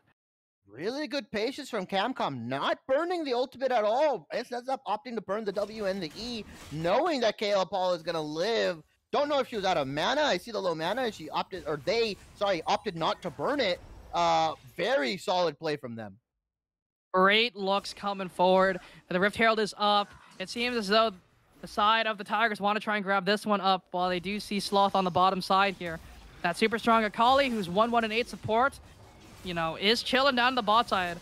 And the not, or the Jarvan is just not there in time, forced to base. And they are going to at least grab an objective bounty for themselves. They're grab the objective bounty. Those have kicked in. It's 5k gold lead at the 17 minute mark. Gonna be able to show up some gold, pick up the Rift like you said, potentially crack open the mid lane turret. Ideally, that's where you want to use it. Uh, but it is just, it is what was a really dominant early game, just not able to clutch it out so far. And Tigers failing in the mid game once again. Uh, just really unfortunate as Torchy trying his damnedest to. Oh, it's not even close. Any Menard to the wall. The shield bow has been procced, and Paul doing so much damage here. Bird and Torchy down to the ground. He's trying to run for the hills. The bullet toss is going to find the kill, and a beautiful play from Paul finds another solo bolo. Depth charge Oh, onto Sloth- PSD. They're trying to find something here while they can. When become light, they're going to go wide on the stun target. They can't find it. East Pity, though, trying to peel off Neural Synaptic. Karthik trying to deal as much damage as they can. Camcom is there. Finds that Hugify. Finds the wild growth. A Sloth Nice PSD into the backline looking for. Karthik. Has the Shuriken toss back. Look at half his health disappear in an Oh, instant. Sloth! And Pity trying to go to the backline. Pony tries to find the damage. He does not have the stain to do it. And it's a double kill for the PhD. The doctor is in the house. Doctor's in the house and you better leave right now because he's got he's got a diagnosis that the tigers aren't gonna like. 0-3 in the quarterfinals ducks looking to take this game finally they're just waiting on the baron timer 34 to 29k nearly a Oh 5k no, Torchy! lead. Oh, the Gnar to the wall. He's taking so much damage. He's stuck in the fate seal. The wallop stuns him up for his fate. His fate has been sealed. Paul is going to be able to go in, but fate sealed under the tower. Wait, he's going to turn it around. Shut down. Torchy seals the fate of Paul, but they lose the mid tower in response. Yeah, gets the shutdown onto the Yone. That's not what you want to do. You don't want to give this guy some gold. The last thing you want is a late game Yone on the enemy team hard carrying, right? I've seen it happen before. It happens all the time. Dragon finally being taken by the Ducks here, opting in to take the third Infernal Drake, the third Dragon of the game, the first Infernal Drake of the game. Infernal Soul will be the soul of choice Oh my as goodness. well. They're looking for pity here. They have the ultimate. Oh, Shuriken Toss going to land as well, but Sloth Dog PhD. Hugger! Finds the play to try and save Pity, but it's not enough. Over the wall goes Akali. It does not even matter. The team is falling apart. Pity is trying to find something, but Pony's dead as well. It's just looking so rough for the side of the Tigers, and they can't do anything except watch. And Baron is up right now. It has just spawned. They are turning their eyes towards the Baron. The Ducks see blood in their eyes. They want to go for the throat. They want to end this game. They want to go home and go to sleep. Baron being taken up. They have the damage. Jungler is not up for the Tigers. An easy Baron pickup for the Ducks here. They're going to take this, reset, and then again, they might do another game-ending push. It could be another game-ending push here. Sloth gonna try and buy some space here for the team. Does not even matter because they're not up in time. They're gonna grab this one up nice and easy and move wherever they need to. Gonna try and shove these side lane or side lanes out, get some more towers in their back pocket, and you know just become the new Apex Predators, I guess. I mean, they're trying to like look. The Ducks are just popping off here. They're taking out the Tigers. I mean, if the Tigers lose the Ducks, that makes them the Apex Predator, right? That's how it works. I'm- I have to agree. I have to agree. Every single member in the Ducks is popping off. Positive score lines across the board. Five, six, five, five. Everybody in the Ducks is playing very, very well. After a very rough start to the early game, they're able to stabilize. This is something the Tigers could not do when they were down in the early game. When they were down like that, they could not stabilize. They could not pick themselves back up. And that's the main difference between these two teams, right? Ducks know that they can play far behind. And look at the player gold. Sloth, Spectral, and Synaptic all on the top of the leaderboards right now at 9,000 gold. I mean, it is just a, a a huge gold lead. It is about 8,000 gold for the Ducks here. They're going to opt in for the 1 3 1 split push here, which is fine. Nobody can match Kale Paul. Nobody can match Sloth PhD. They're going to look to push in all of the tier 2 turrets standing. Oh, and they're looking for pity. They find the root there. They're trying to find Neural Synaptic. They force the flash as well, but they don't really have the damage. The wild growth going to keep that alive, but Best Spectral force needs a feather under the tower. The Gale Force trying to find Karthik. They cannot do it. Neural Synaptic is going to be able to walk away, and it is going to be a zero for zero, but Summoner's burned on both sides.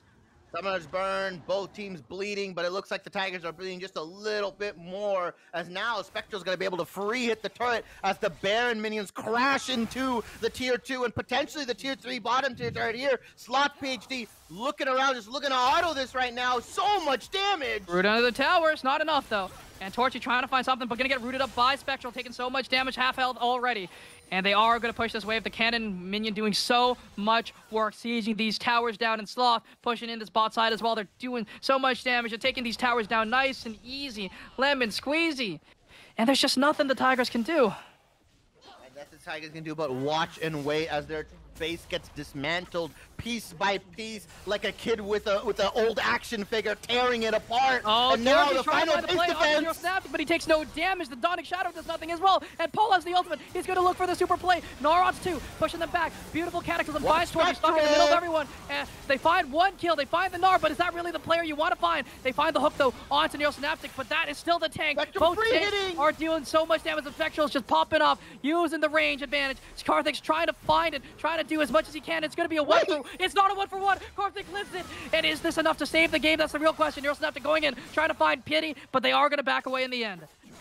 Ooh, they could potentially look for this. You know, Synaptic and Sloth PhD are up. They get, they have to, they have to get up in the back. Oh my God! So many super minions are crashing into the base right now. It's like It's five too super hard. minions right now. The cannon's just doing so much where they're trying to find Cam. They're trying to find Camcom. They cannot oh my do God, it. the tower's Damage is gonna there. down! The tower's going to go down. They get both towers, and they're just going to walk away for free. Banging on the front steps, these super minions or the cannon minions take down the remaining Nexus turret. It's an open Nexus. It's an open ba- base, and this case is shut closed. Dragons coming up in 55 seconds. The Ducks are gonna reset. They're gonna take their bank accounts, cash it into Boris, and they're gonna go for the last, potentially final push of this game. One mistake from the Tigers spells the end of their run here. They need to try and get their act together in the next 30 seconds, or this game is over. Their time is done, and time is of the essence here. They're on a clock. That's ticking. It's ticking very, very quickly. It's it's it's 2x speed right now for these guys. 24 to 9, nearly a 10k gold lead for the Ducks. There's no possible way they throw this, right? So there's no possible way. No way they do. But Paul trying to find something on his pity. They're TPing topside. They're going to give up this dragon. They're trying to find Paul. Torchy has found the TP. Fate still going to go wide. Over the wall goes Paul. And they can't really do all that much. Dog Hugger trying to run for the hills. They're just gonna go And for the base. is there Let's as well. They're going for the base. base. They're going for the base. They sent two top. What are they doing? They're trying. And Sloth PhD is there. Pity has arrived as well. They're trying to find Sloth. They find the root. They find the ultimates there with Spectral going for it. Finds Karthik. A lot of damage is down as well. They're flashing for it, trying to find Spectral. He's trying to free hit, but he cannot free hit enough. He's the raw growth should be enough. He's not enough to stay alive though. But Neural Synaptic stuck in the middle of the Cataclysm. Pity does make it back to the fountain, but their Oh, health bars are so low. They have the in! resets. It's over. It's a triple kill for the Jarvan. It's a triple kill for the end of the game. And the play has been made. And the Ducks win the series oh. 3-0. The Ducks go march, march, march as they march their ways into the semi.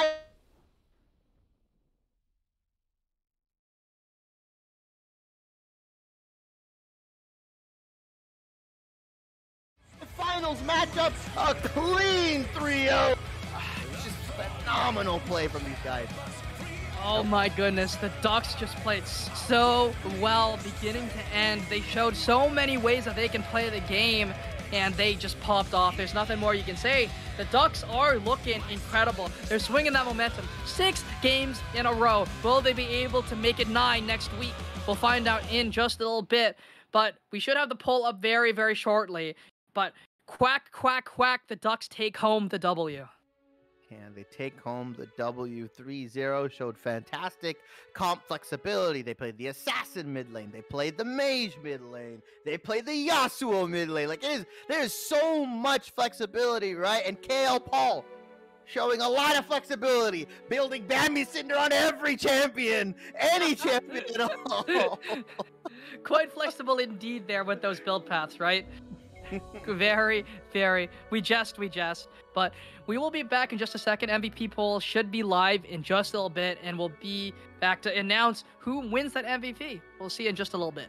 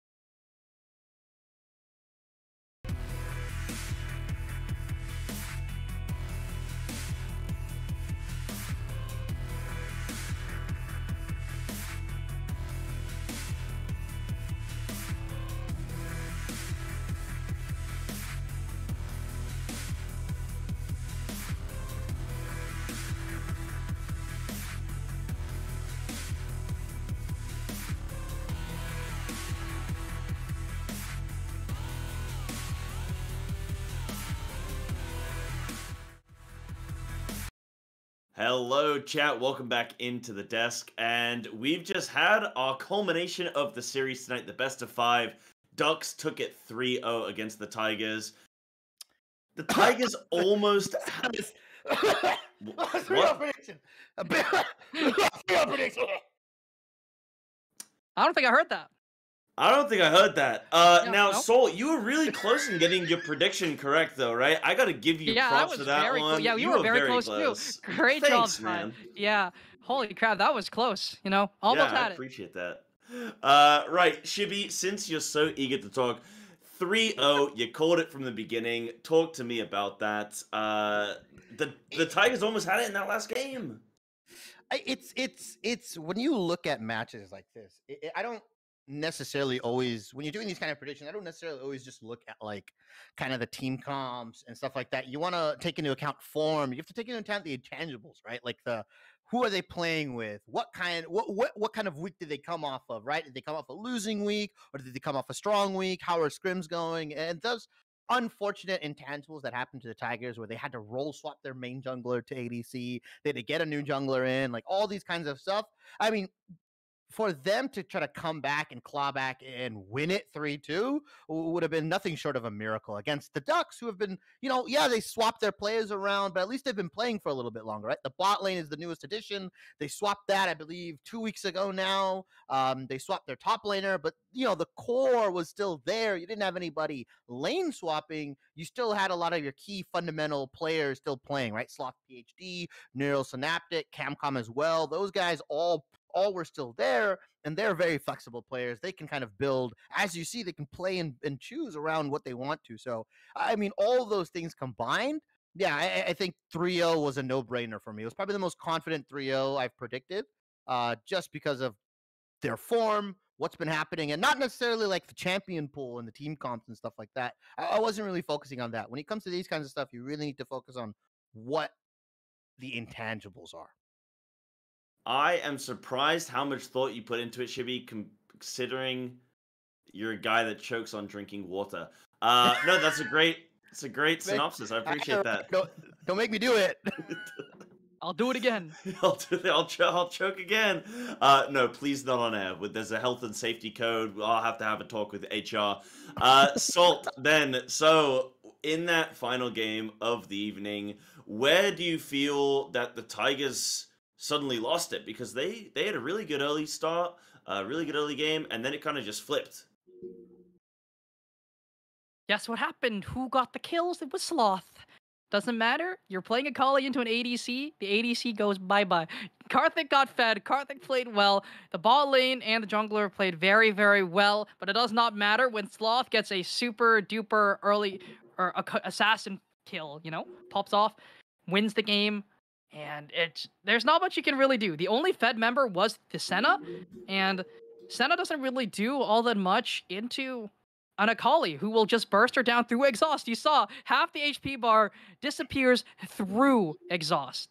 So Sloth played super well. Mechanically, the Akali looked super clean, but uh, it's just very unfortunate that the kills ended up there, and that is how the game just sort of spiraled out of control when Sloth was able to pick up those big picks.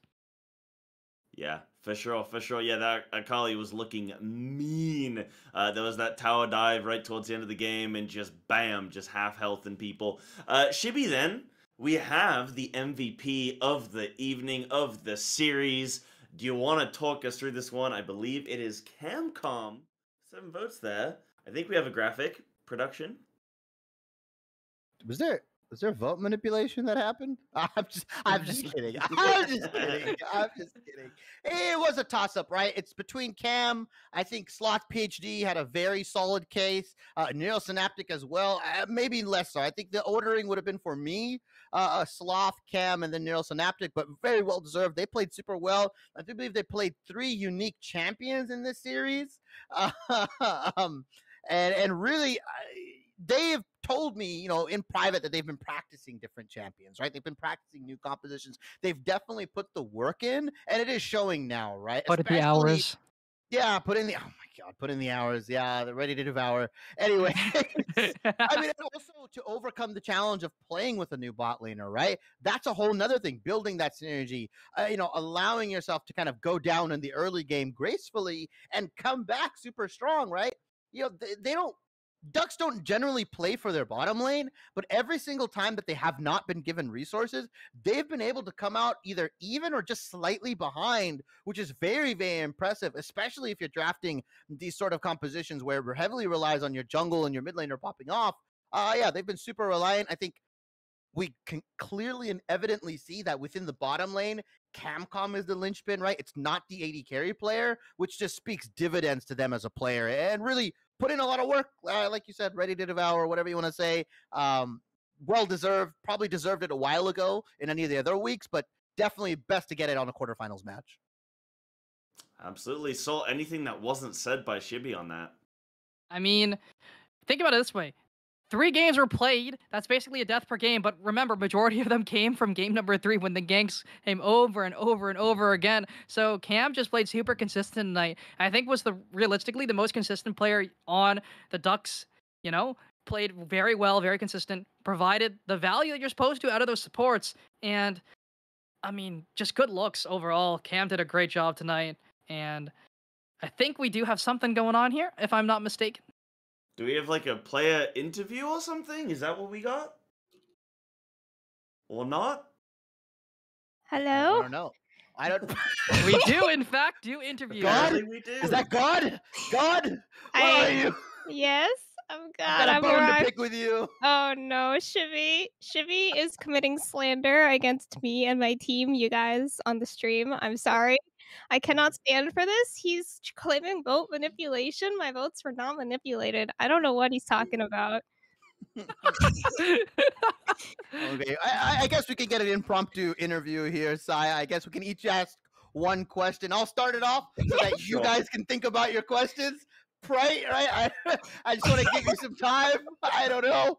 Uh, Cam, coming into this match, coming into this series, you guys were definitely on point into your series. Some of you, some of the other people were doubting you guys' strength within the games, right? I can't Normal believe games him. stuff, that kind of stuff. I- I mean, how do you guys uh, adapt? You know, obviously you've answered the question personally with the meta, but what do you guys take for your guys' criticism, right? Being a late game team, drafting sort of one dimensional. I mean, what goes into getting your different drafts, getting your different compositions? Because you showed three different compositions. I mean, how does that? What do you guys do into that? How do you guys do that?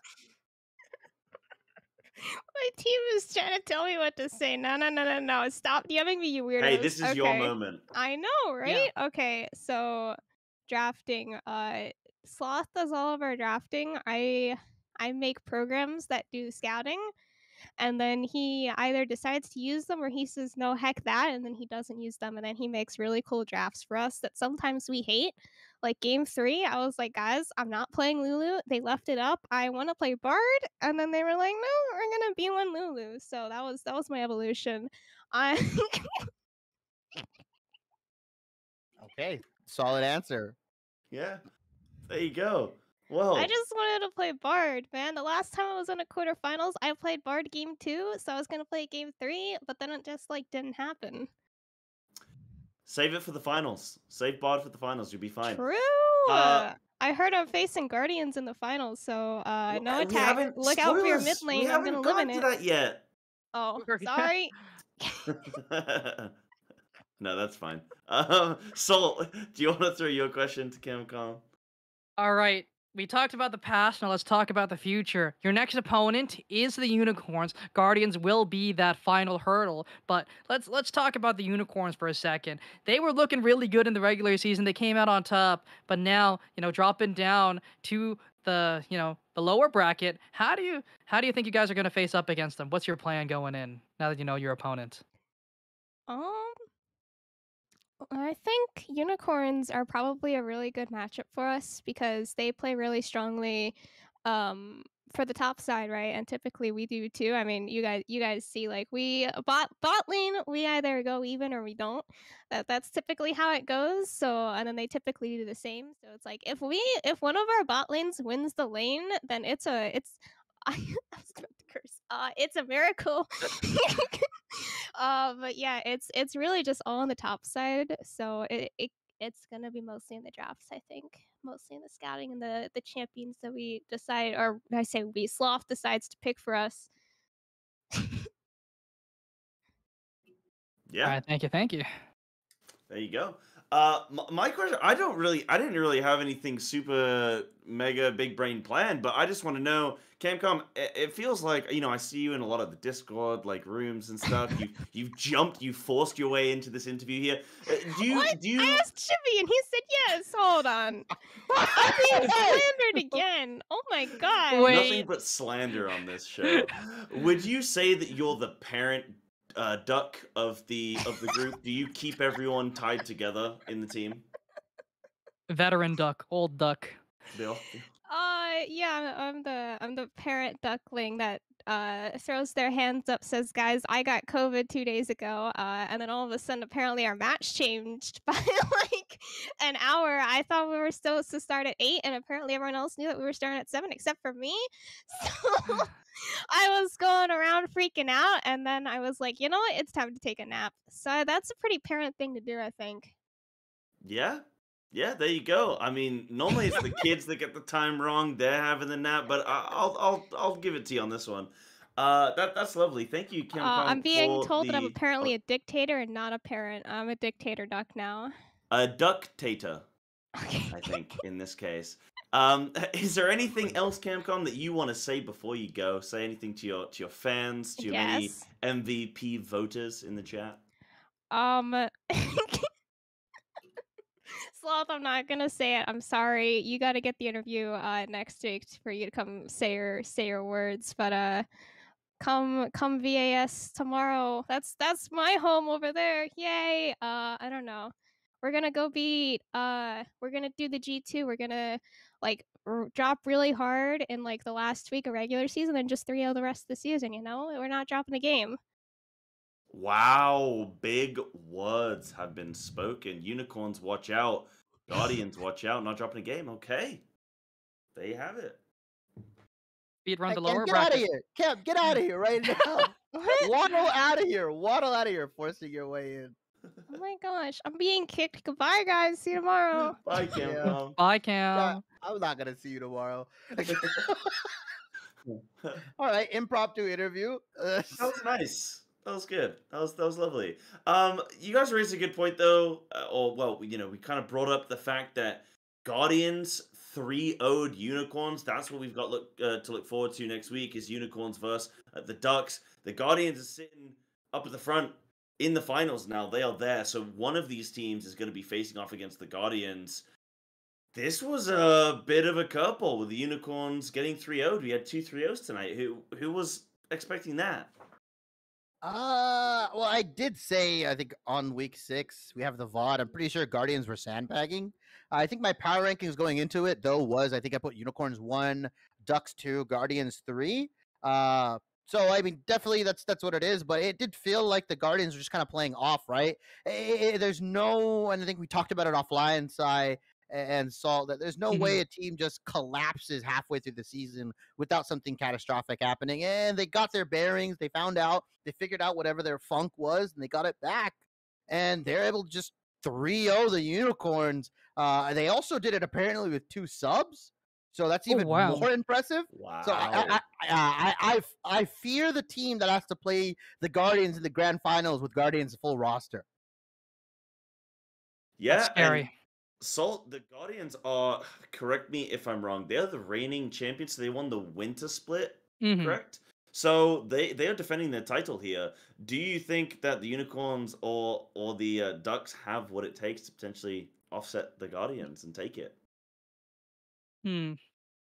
I think the unicorns don't really match up all that well player wise versus the guardians. I think they're stronger in the air in different areas than the guardians are.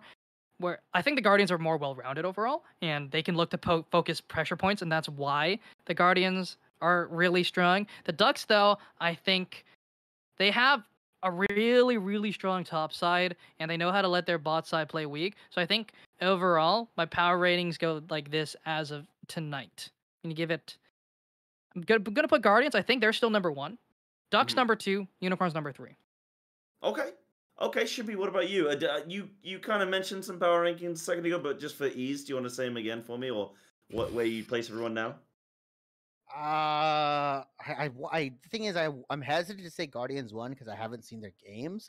But if they can 3-0 the top regular season team with two subs, I, I, that's that's number one in my book. Like that's just wildly impressive, right? And again, I'm looking at the intangibles. It's it's imagine you play against a team with subs and you lose 3-0 and you as the ducks pretty much have your full roster and now you have to play against a team that has their full roster and they 3 like it, it's it's guardians one uh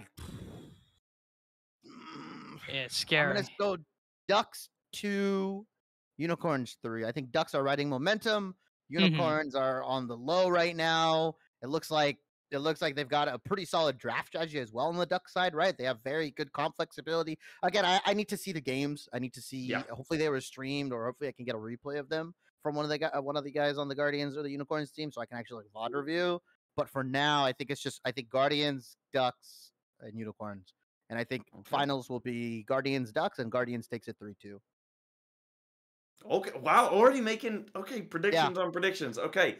Cool. Well, we'll have to wait and see what that final score is going to be and who those final two teams are going to be. We know, Chet, that the Guardians are definitely in the final next week. On Tuesday, we're going to be back with another best of five between the Ducks and the Unicorns. Everything to play for to get into the finals and to make more money. That's what we want to see. But without further ado, we will be looking to probably end up the show in just a moment. Remember to follow the Discord, join the Discord. You can get in the Ben's channel. You can check out all the info on all the leagues that we got going on all throughout the week, every single day. There's a lot of action happening, so make sure you're in there. Of course, follow the channel, follow us on socials, Twitter, and whatnot, and you can just kind of stay tuned with everything that's happening here on the Victoris GG channel. That's going to be it from me, Sai. It's going to be uh, saying, or we're going to be saying goodnight to Salt, Shibby, Salt. Anything you want to say before we head out for the night, and then coming over to you, Shibby. an exciting set of playoffs here. Very fast, very furious. So I'm super excited what we're going to see next week.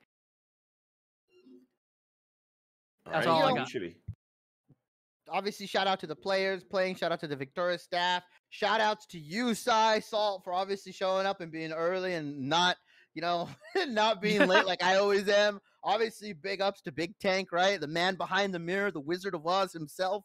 You know, making us look good, all the transitions and everything.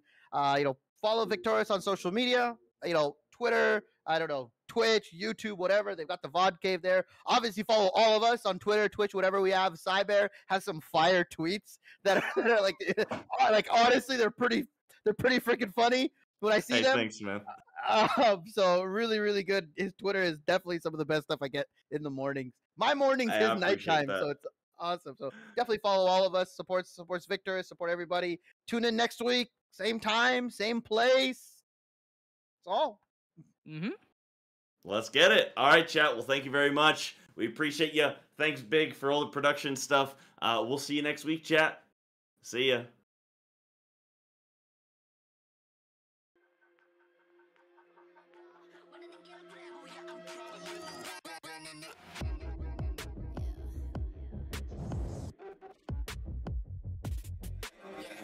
Fast, life is moving in slow mo. I'm a god, but I actually don't know. Homie, better put your pride aside. I'm a Benz, get more like a Volvo. Your best stuff looks like my words. Synapses, fire, and burst. Got the whole crew with me, about to do damage. You know we ain't average. I ain't gonna say this again, but it's in my time. Better look in my eyes. I'm a genius in the skies with my heart on my sleeve. You force you a block to a king in his prime. Everybody got a line. Sit back with the stars in line. I finesse like my life on the nine was a diamond in the rough, and now I shine. No one could stop us, they'll try, but they won't.